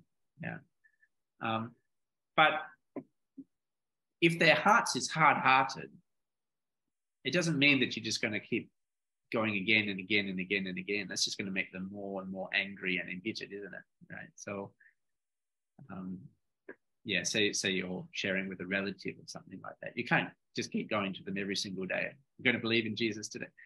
You're going to just make them so irritated and angry, isn't it? But over the course of your lifetime, you're still going to keep looking for opportunities and living the Christian life, trying to share with them. Um, yeah. Anyone else? Yeah, just want to clarify in terms of the just now you mentioned the difference between uh being filled with the Holy Spirit as well as being baptized in the Holy Spirit. Yes. So uh, in Corinthians, they said that the our, tem- our bodies is a temple of God and that the Spirit dwells within us. So I take it as when we receive the gospel, the Spirit dwells in the in us. Yes that is the baptism of the Holy Spirit. Correct. Uh, so if the Spirit is really in us, uh, then why does He still need to fill us to to proclaim the word? Yeah, I think the, the, the idea of the, the, the filling here, maybe we could look at uh, Ephesians chapter uh, 5 as a bit of a cross reference here to get a sense on what this language of filling means. So, and, and this is the only place where it's it, the idea of being filled with the Spirit is really talked about in the epistles. Verse 18 Do not get drunk with wine, for that is debauchery, but be filled with the Spirit. Notice it's a it's a passive, it's something that happens to you. Be filled with the Spirit. It's an ongoing thing, it's not a one off thing, but this is something that is to happen in an ongoing way. Uh, and then it's clarified what does this mean? What does being filled with the Spirit mean? Well, it means addressing one another in psalms and hymns, and songs, giving thanks to God, um, submitting to one another out of reverence to Christ, you know, wives to husbands, children to parents, slaves to masters, and, and, and so on and so forth. But it's contrasted here with don't be drunk with wine, that's debauchery, but be filled with the Spirit. So it's the idea of being uh, you know, intoxicated or um, something taking control of, of, of, you. So when you, yeah, when you are drunk with wine, then you, you start doing all kinds of, uh, you're possessed to do all kinds of crazy, crazy mm. things, right? But this is kind of being possessed or overcome, you know, in a good way. That is be, to be filled with the Spirit means that the Spirit is so um, controlling your heart and life that you're doing what God wants you to, to do, which includes things like boldly, boldly uh, proclaiming the gospel in the face of opposition. So, yeah. Um, so, yeah, the Spirit is always in our hearts if we're Christians. It takes up residence in our hearts. But, um, uh, you know, we can yield more or less, I guess, to his um, influence or control um, over our life. And the language of feelings, I think, kind of getting at that. I'm probably going to ask a question that's opposite of what Jonathan is asking. How can we lose the spirit? I mean, can, can spirit sort of weakens in us or leave us some part and that we need to be filled? Uh, as I said, the baptism of the Spirit, no, that's a permanent, that's a permanent thing. Yeah. Yes. Um, yeah. so Ephesians 1 talks about the Spirit being the deposit, the seal of what is to is, is to come. In the Old Testament, Saul loses the Spirit, but that's different. It's Old Testament times. The Spirit comes upon you for temporary periods, specific people to empower them for their jobs, specific tasks. But no, in the New Testament, it's it's it's a it's a permanent thing. The Spirit is always with us. If you don't have the Spirit of God, you're not a Christian. Yeah, yeah. Um, and the Spirit keeps you Christian. Okay, so yeah. that part I I understand, but what I was trying to go towards too is that would you actually get weaker in the Spirit, and then you need to be filled up again? That's probably more my question. Yeah, well, I think this verse we just read talks about is there's a command to keep being filled with the Spirit, and yeah, it's it's something that it, even in Acts it happens more than once to the same same people like Peter, for example. Yeah, so um, yeah, we want to be continually yielding to the control of the Spirit over our life. And how does that happen, by the way? It's through the Word of God, isn't it? I mean, the Spirit. What does the Spirit do? It works in people's hearts to so that the, the word about Christ is preached, right? Mm. And ultimately written down in the scriptures, scriptures yeah. for us so that we can speak it to one another. And so it's a how is it that the Spirit is going to increasingly control our hearts and lives? It says His word is is, is, is preached to us and we believe it and begin to live it out. So it's not something, I mean, it's it's supernatural, but it's not it, it can be ordinary, spectacularly ordinary. I, I, don't know, something like that. Supernaturally ordinary. Um, spirit works ordinarily through the word. Yeah. Mm. Yeah. Okay.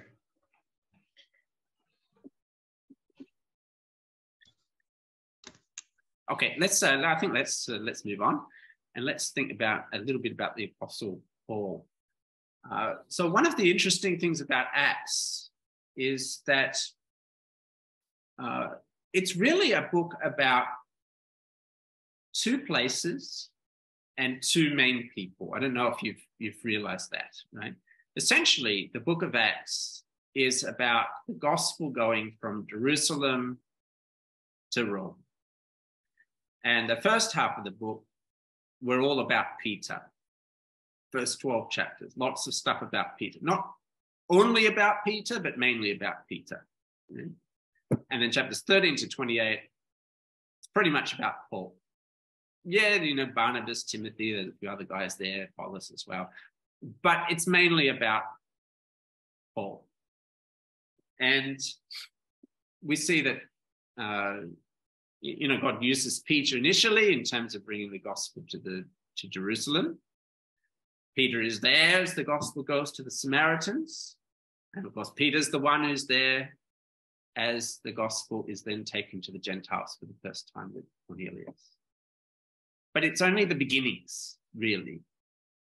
The, the Acts 1 8 mission to bring it to the ends of the earth, it happens especially through, um, through the Apostle Paul. So we call it the Acts of the Apostles, but most of the apostles aren't mentioned, right?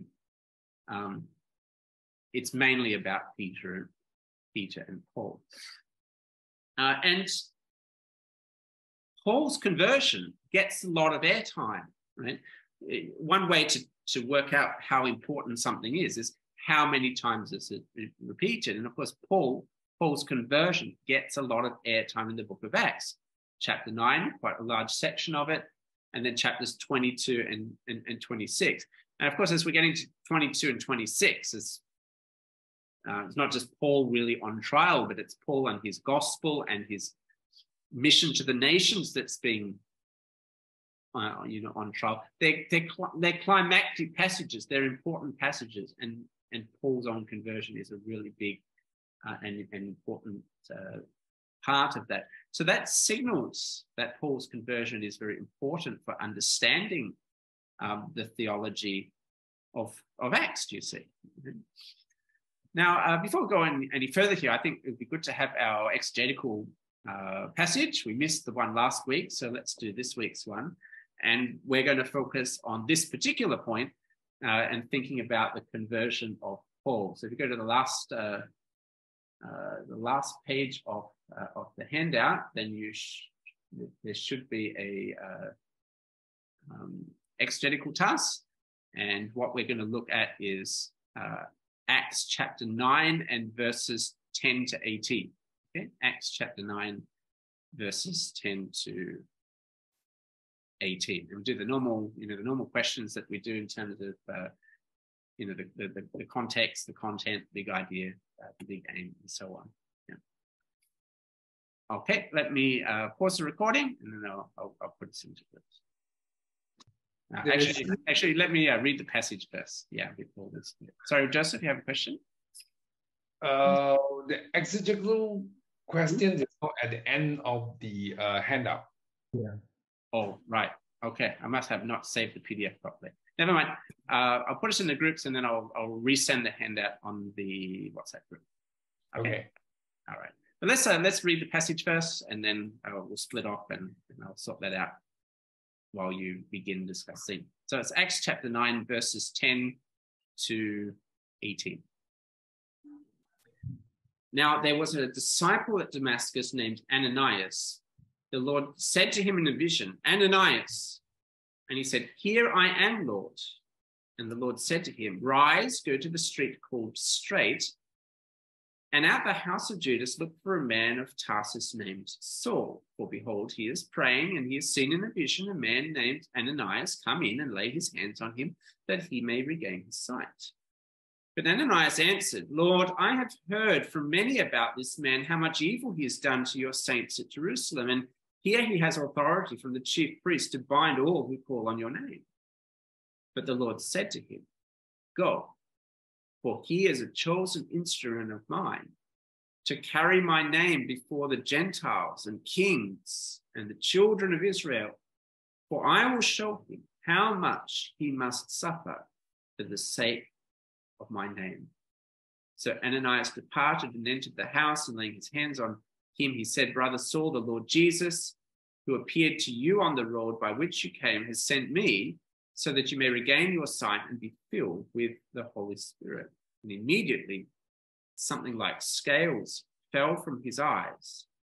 He regained his sight.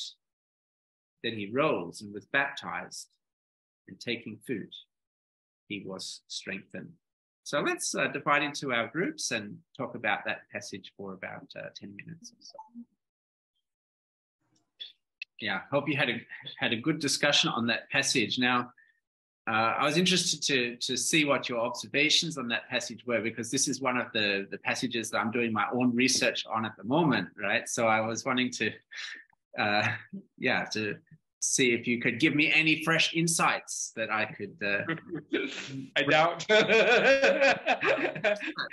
uh, but my the topic that I'm the topic that I'm looking at is how Paul is portrayed as a further fulfillment of the Isaianic servant, and um, and uh, so you see a few interesting things here. So, for example, this this verse 15 and 16 is obviously very important for uh, understanding Paul's mission, right? This is this is what he's commissioned to do by the, the risen Lord Jesus. Yeah. Um, he's a he's a chosen instrument of mine, and that language of of, of chosen is something that comes from uh, from the servant. Uh, if so, if you remember in Isaiah 42, verse uh, 1, uh, behold, my servant whom I uphold, my chosen, in whom my soul delights. I put my spirit upon him. He'll bring forth justice to the nations. And here is uh, Paul, who's described as God's uh, my, my chosen instrument. Um, he receives uh, the Spirit here. Uh, and he's to carry uh, Jesus' name before the Gentiles and kings and the children of Israel. Now, of course, this is looking forward to how the book of Acts is going to end. You know, as, as uh, Paul is going to be brought before, um, you know, Felix and, and Agrippa and, uh, and, and so on. And of course, he's going to preach in the synagogues, but he's also going to bring the gospel gospel to the nations as well. And uh, I think behind this verse is Isaiah 49, verse 6, which is about the servant again. It's too light a thing that you should be my servant to raise up the tribes of Jacob and bring back the preserved of Israel.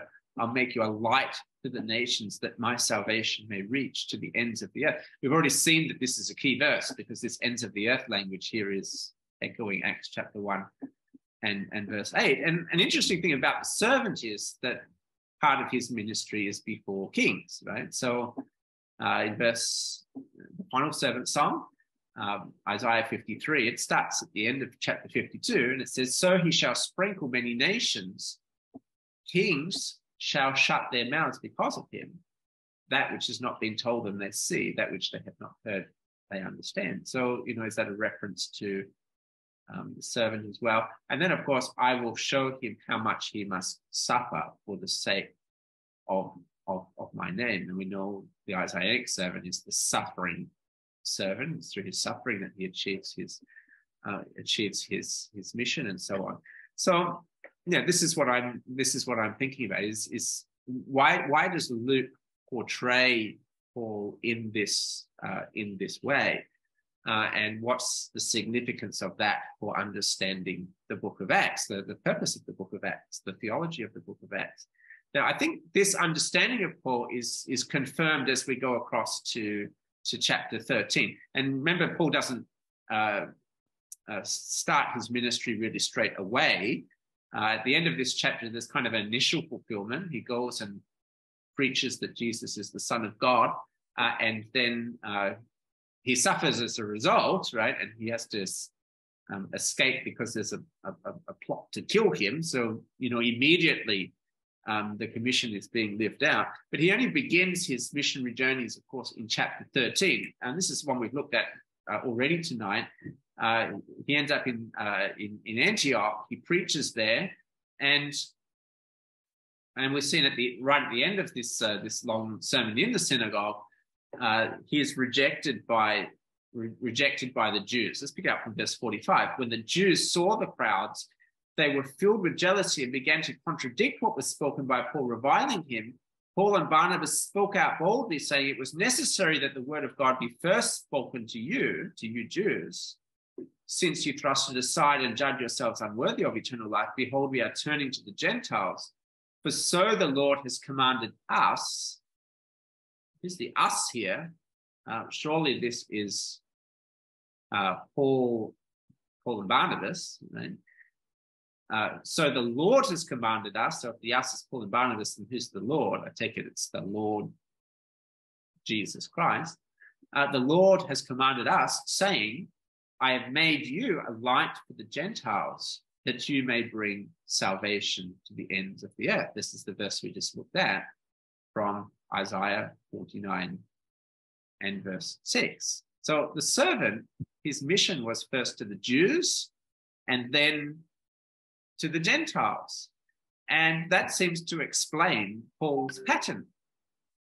Whenever he goes to a town, he goes first to the Jews. He goes to the synagogue or wherever the Jews are going to hang out. And only when they reject it, then he goes to the Gentiles because the servant's mission was, yes, bringing salvation to the ends of the earth, but uh, ultimately, it also included uh, uh, restoring Israel as well. So, what does this mean then? Because we all know, I guess, that Jesus is the suffering servant, and um, he's his that that that's said explicitly in both Luke and Acts. remember Philip, the, the Ethiopian eunuch. What's he reading in Acts chapter 8? He's reading Isaiah chapter 53 uh, in his, uh, in his uh, chariot. Sorry, I meant to go to Acts chapter 8 here. So the Ethiopian eunuch here, he's reading uh, Isaiah 53, and, and and he asked, "Who's this talking about?" And we're told Philip opened his mouth and began with this, this scripture. He told them the good news about Jesus. Right? So the book of Acts is quite clear that Jesus is the suffering servant. Jesus is the one who dies on the cross for the sins of the world. But remember the, that uh, there's two stages to the plan in Luke 24. The first stage, that Christ must suffer and be raised. And then the second stage, repentance for the forgiveness of sins must be proclaimed in his name to all nations. So, and what we see in the book of Acts is that Jesus is the servant. He's the one who's bringing salvation to the ends of the earth, but he does it through his witnesses, isn't it? That's what we see in Acts chapter 1. He says, You will be my witnesses, Jerusalem, Judea, Samaria, the ends of the earth. And then Jesus ascends to heaven. He pours out his spirit and he and, and Jesus is at work through his spirit and so on, making sure the gospel goes to the nations. He's doing it through his people. We see something like that in uh, in, in in Acts chapter nine as well. Remember the context at the start of this of this chapter. Uh, Jesus appears to Saul and he says, Saul, Saul, why are you persecuting me? He says, Who are you, Lord? I am Jesus, whom you are persecuting. It's interesting how Jesus talks here, isn't it? Because uh, Saul has been persecuting Christians. Yes, and Jesus is in heaven. Um, but you, you see Jesus identifying with his people, right? And so as Saul persecutes Christians, he's persecuting Jesus because they are his body, they are his they are they are his people. Yeah. And so in a similar way, Jesus is the servant, but he's achieving his servant mission through his through his people uh, and, and, supremely through the apostle um, Paul. And so, how does the gospel advance through Paul? Through preaching, yes. Through suffering, yes because that's how it happens with Jesus. And you get, end up with this really interesting thing as we get to the uh, to the end of the book of Acts, where in many ways uh, what's happening to Paul mirrors what happens to Jesus. So you have Jesus on a journey to Jerusalem where he knows he's going to suffer. You have you have Paul on a journey uh, to Jerusalem where he knows he's going to suffer, but he goes there anyway and there's all the trial scenes. Of course, remember Jesus has multiple trials. Paul has multiple trials, um, and so on. There's a, there's many there's many ways. Now, of course, they're not exactly the same. Jesus gets executed, um, and, and, Paul doesn't. Paul ends up in in Rome, and so on. But there's this similarities um, that, that you that you see between between the two. So anyway, that's uh, that that's what I'm looking at in terms of my my own research. And if you're interested, you can, you know, when I, whenever I finish, I can send it to you. But I think the uh, it's a it's an important point for thinking about what Acts is about because Paul is such an important character in Acts. He dominates more than half the book. His conversions, so I mean, his commissioning uh, conversion narrative is so important because it takes up three chapters out of out of the 28. So it's really important in thinking about how to understand Paul's missionary journeys, etc., and ultimately what's the point of, of, of, of, the book. Okay, so I think let's, uh, any questions you want to ask there? Otherwise we can move on. Okay, so uh, got a few more themes. Let's just go through this quite quickly by looking at the, the outline itself, right? So God and his plan. God's plan is a big theme in the book of Acts. Acts continues the theme of the fulfillment of prophecy, showing how the promises of the Old Testament are fulfilled in the person and work of the Lord Jesus Christ and in the preaching of the nations of the salvation he has accomplished. So David Peterson writes, God makes known his powerful presence and purpose in the narrative of Acts by direct action and speech, through angelic or human messengers, the latter regularly using scripture to proclaim the character and the will of God. So, in other words, we get a strong sense as we work through Acts that everything is progressing as God intends. God is directing things, God is making sure uh, things happen as, as, as he wants. Maybe a very good example of this would be the uh, Macedonian call um, in Acts chapter 16, uh, verse 6. They went through the region of Phrygia and Galatia, having been forbidden by the Holy Spirit to speak the word in Asia. When they came up to Mysia, they attempted to go to Bithynia, but the Spirit of Jesus did not allow them. So, passing by Mysia, they went down to Troas, and a vision appeared to Paul in the night. A man of Macedonia was standing there, urging him and saying, Come over to Macedonia and help us. When Paul had seen the vision, immediately we sought to go on to Macedonia, concluding that God had called us to preach the gospel to them. So, in other words, you see God as an active agent in the book of Acts. The Lord Jesus is actively directing things through his spirit to achieve his his, plan right? and uh, sometimes it as, as we see in this passage there's there's a vision and, and, and various things uh, other times it's, it's it's not spectacular like that but uh, other times it's just uh, we see the the scriptures being fulfilled, things playing out according to what the Old Testament says. And this is this is partly what we see in the various various speeches, uh, as we see the various sermons that are scattered through Acts. Usually, very often, what they're doing is they're showing how Jesus comes in fulfillment uh, of uh, of the Old Testament.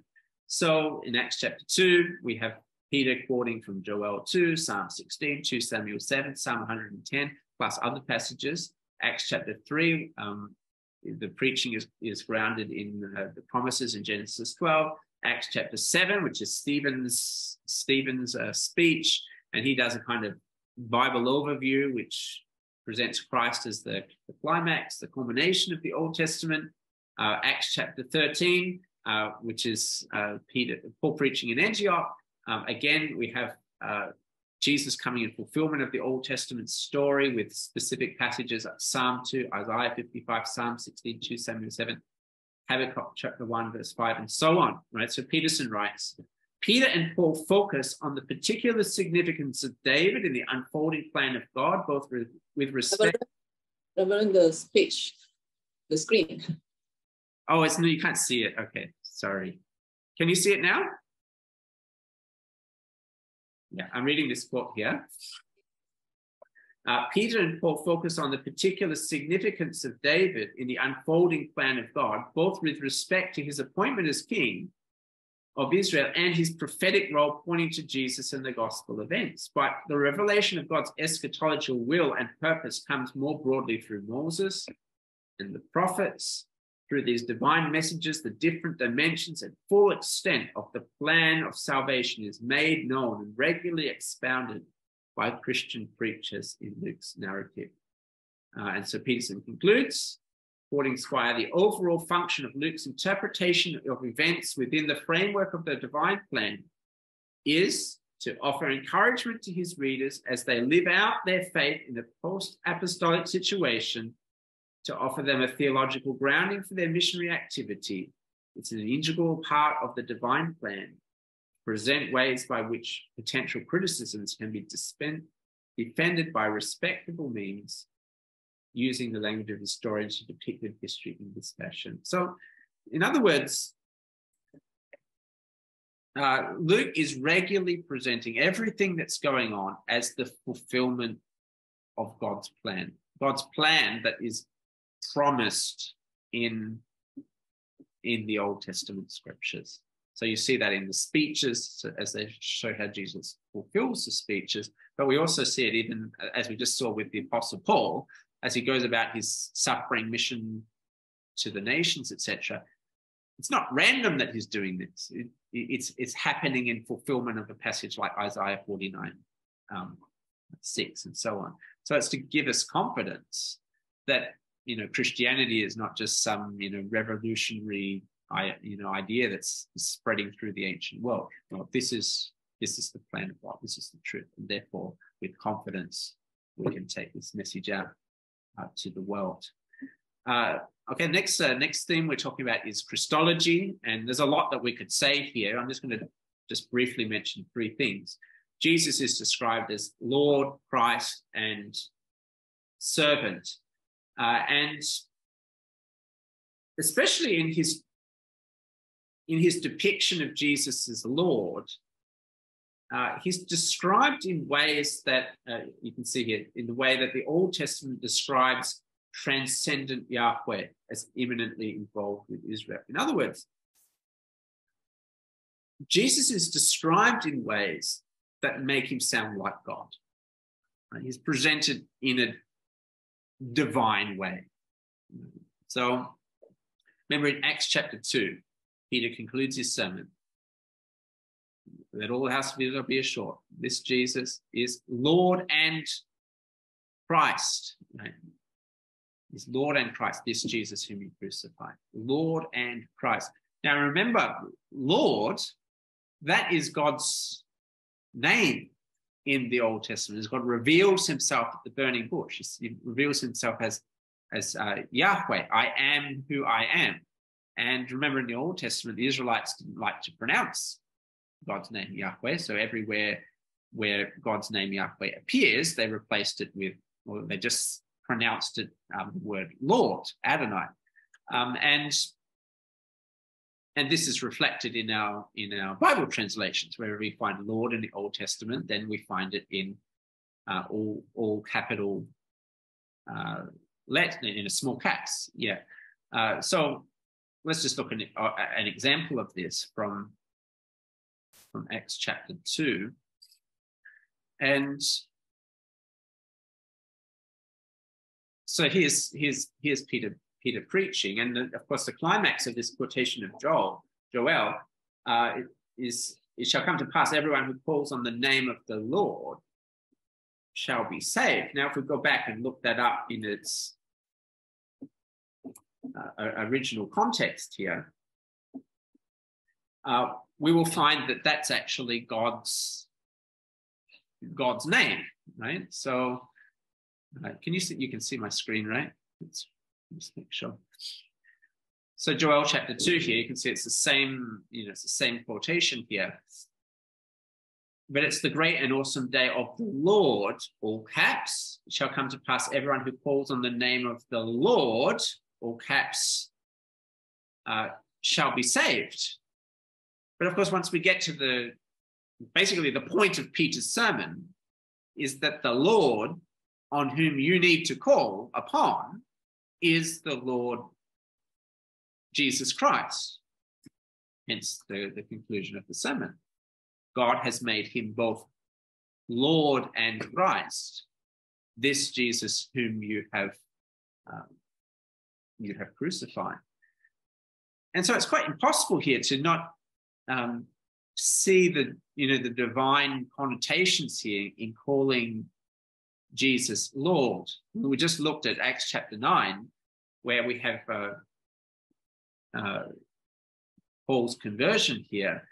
And he says, So, so why are you persecuting me? He said, Who are you, Lord?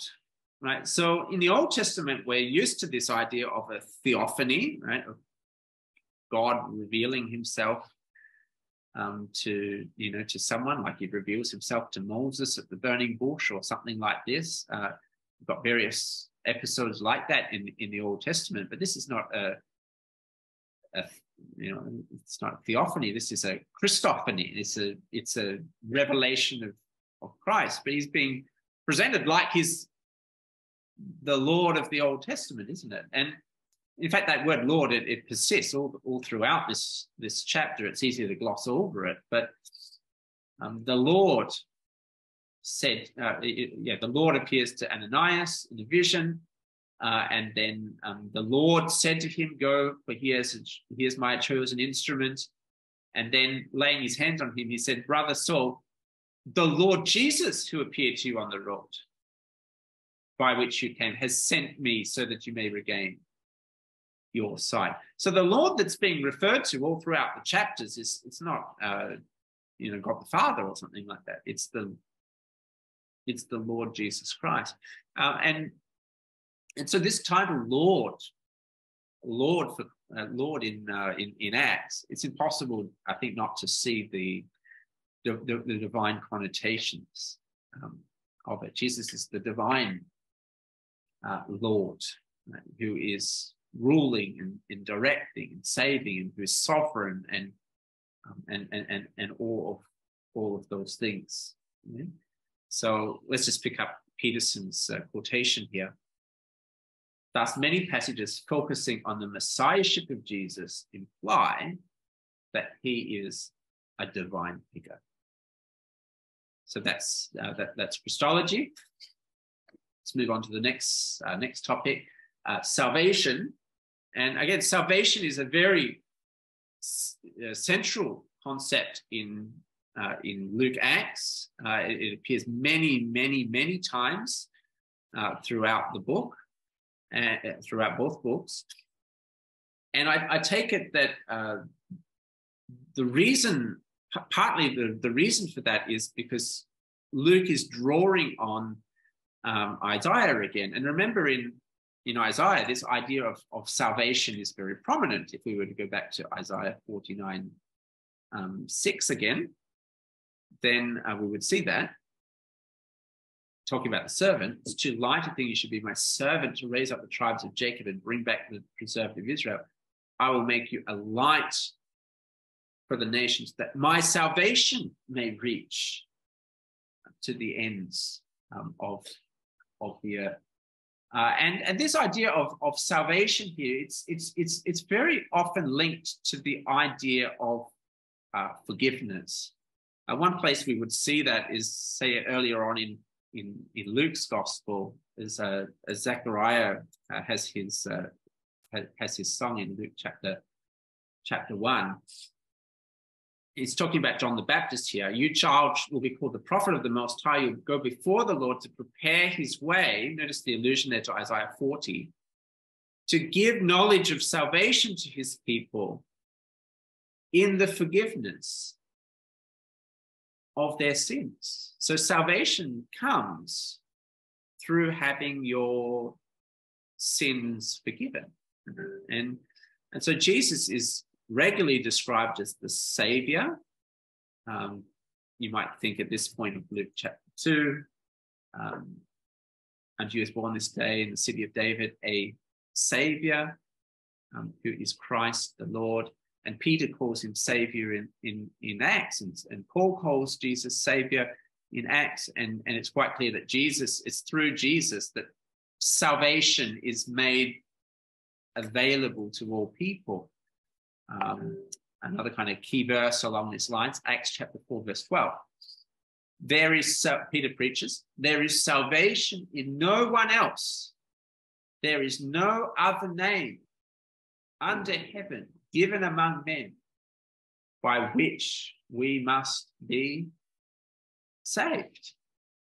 Um, salvation is only found in turning to the Lord Jesus. Even here, this is a this is taking us back to Acts chapter 2, as so much of the book of Acts does, keeps coming back to Acts chapter 2.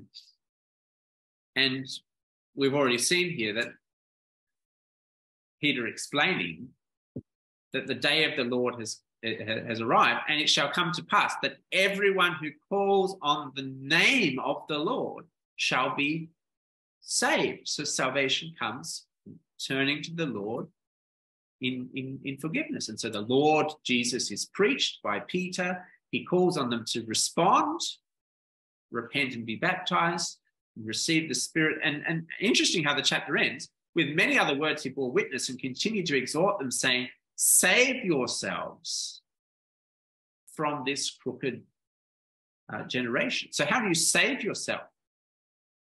By admitting your sins, repenting and turning to the Lord Jesus for forgiveness. So salvation comes by turning to Jesus and receiving the forgiveness that he offers you, that he's made available um, through his um, through his death and resurrection. And because of verses like Isaiah 49 6, it's the will of God, it's the plan of God that this salvation may be preached to the to the ends of, of, of the earth. And that's and that's what we see happening uh, in, in the book of Acts. So a couple of other points we can add on here. Uh, so let's let's read them one by one. Uh, salvation is strongly linked to forgiveness. Jesus is often described as Savior who brings this forgiveness. Uh, the need for eschatological salvation is first emphasized in Acts 2. Let's look at that. Rescue from divine judgment on sin is needed by turning in repentance to Christ as Savior and King. We've just seen that. The Spirit is given to confirm the reception of salvation. In Luke's way of thinking, salvation in the fuller and more spiritual sense comes about because of Christ's death and resurrection, and the means of receiving the benefits of these climactic events is through the Holy Spirit, who is not sent before Pentecost to be and convey God's soteriological blessing. This means uh, salvation. The salvation that Luke describes is not something that humans can attain for themselves. Uh, it's the gift of God. Um, here, uh, Peterson is, is bringing our attention to Acts chapter 15.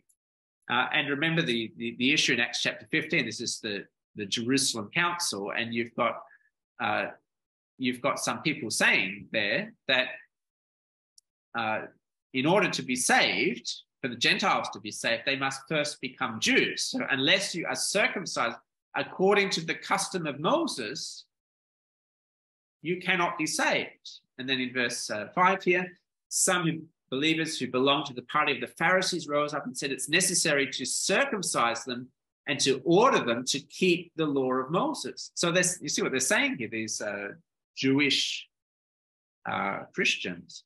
They're saying for the Gentiles to be saved, they must first become Jews and express that by receiving circumcision. And uh, thankfully, the Jerusalem Council, as the Spirit of God works among them, listen to what Peter says. We believe, but we believe we will be saved through the grace of the Lord Jesus, just as they will. Not saved by works, not saved by uh, religious acts like circumcision or, or, or things like that, but salvation by grace alone, through faith alone in Christ alone. And uh, Jews and Gentiles are on equal standing, coming to Jesus together for uh, for uh, for forgiveness. Uh, and and then we've seen that this is therefore uh, salvation is available to all. It's not just for Jews; it's for all the nations. And we're nearly there, and just a couple more points to go. So obviously, opposition and suffering is a big theme here. And there's opposition that comes from different levels. There's, there's, there's reasons given, given for the suffering. Uh, we have opposition to, to Christ himself, and we saw Saul persecuting Christians is actually persecuting Jesus. Uh, we have we have uh, opposition from jealous Jews, and they are the you can see here they are the main protagonists really in the book of Acts occasionally there is opposition from Gentiles too. So it's not exclusively Jewish opposition to the gospel, but it is primarily and often where the opposition comes from the Gentiles, it was stirred up by the Jews in the first place. Um, there is opposition from worldly authorities, and we've seen Herod killing uh, killing James, putting Peter in prison, and uh, certainly at the end, uh, the trials of, of, of Paul. So there's there is opposition from uh, from the Roman authorities as well, and sometimes even uh, even from you know so-called believers as well. People like Ananias and Sapphira, um, you know Simon trying to, to buy the gift, and, and various other things like that as well. It's false teachers coming up within the church. So there's there's a lot of suffering. You can see there's many many verses there related to suffering and that's a big theme in Acts. And yet the word of God progresses despite all of all of this suffering. Uh, we could talk about the church and uh, the church presented as the new Israel. that's the point of having the 12th apostle appointed in, in Acts chapter 1.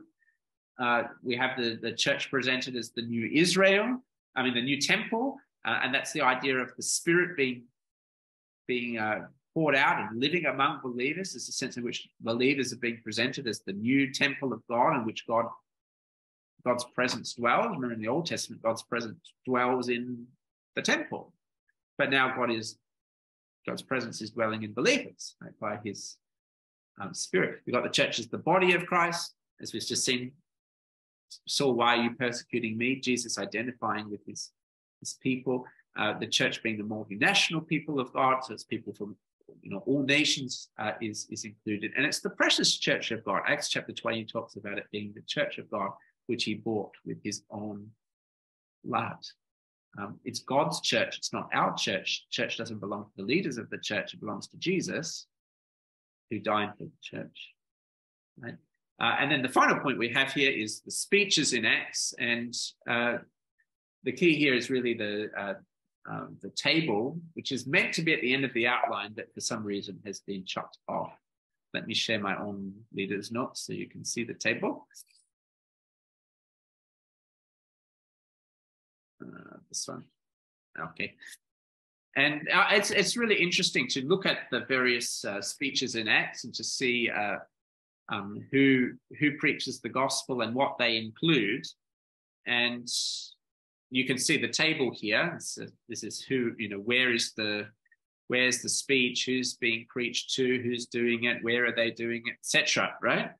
Um, but here, this is what what is included: creation, the nations, sin, the resurrection of Jesus, witnesses to the resurrection, the lordship of Christ, salvation, the future, the call, call for response, the result of the response, the Holy Spirit, the death of Jesus, the fulfillment of the Old Testament.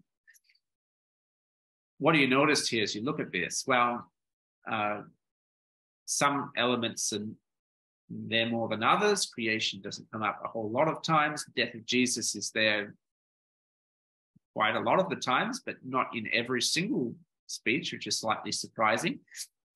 Um, but what's the one that is there basically every time? It's you see, it's this one here, the, the lordship of Jesus, the resurrection of Jesus. And I think this is the point that we've uh, um, that, that we've, we've, made earlier.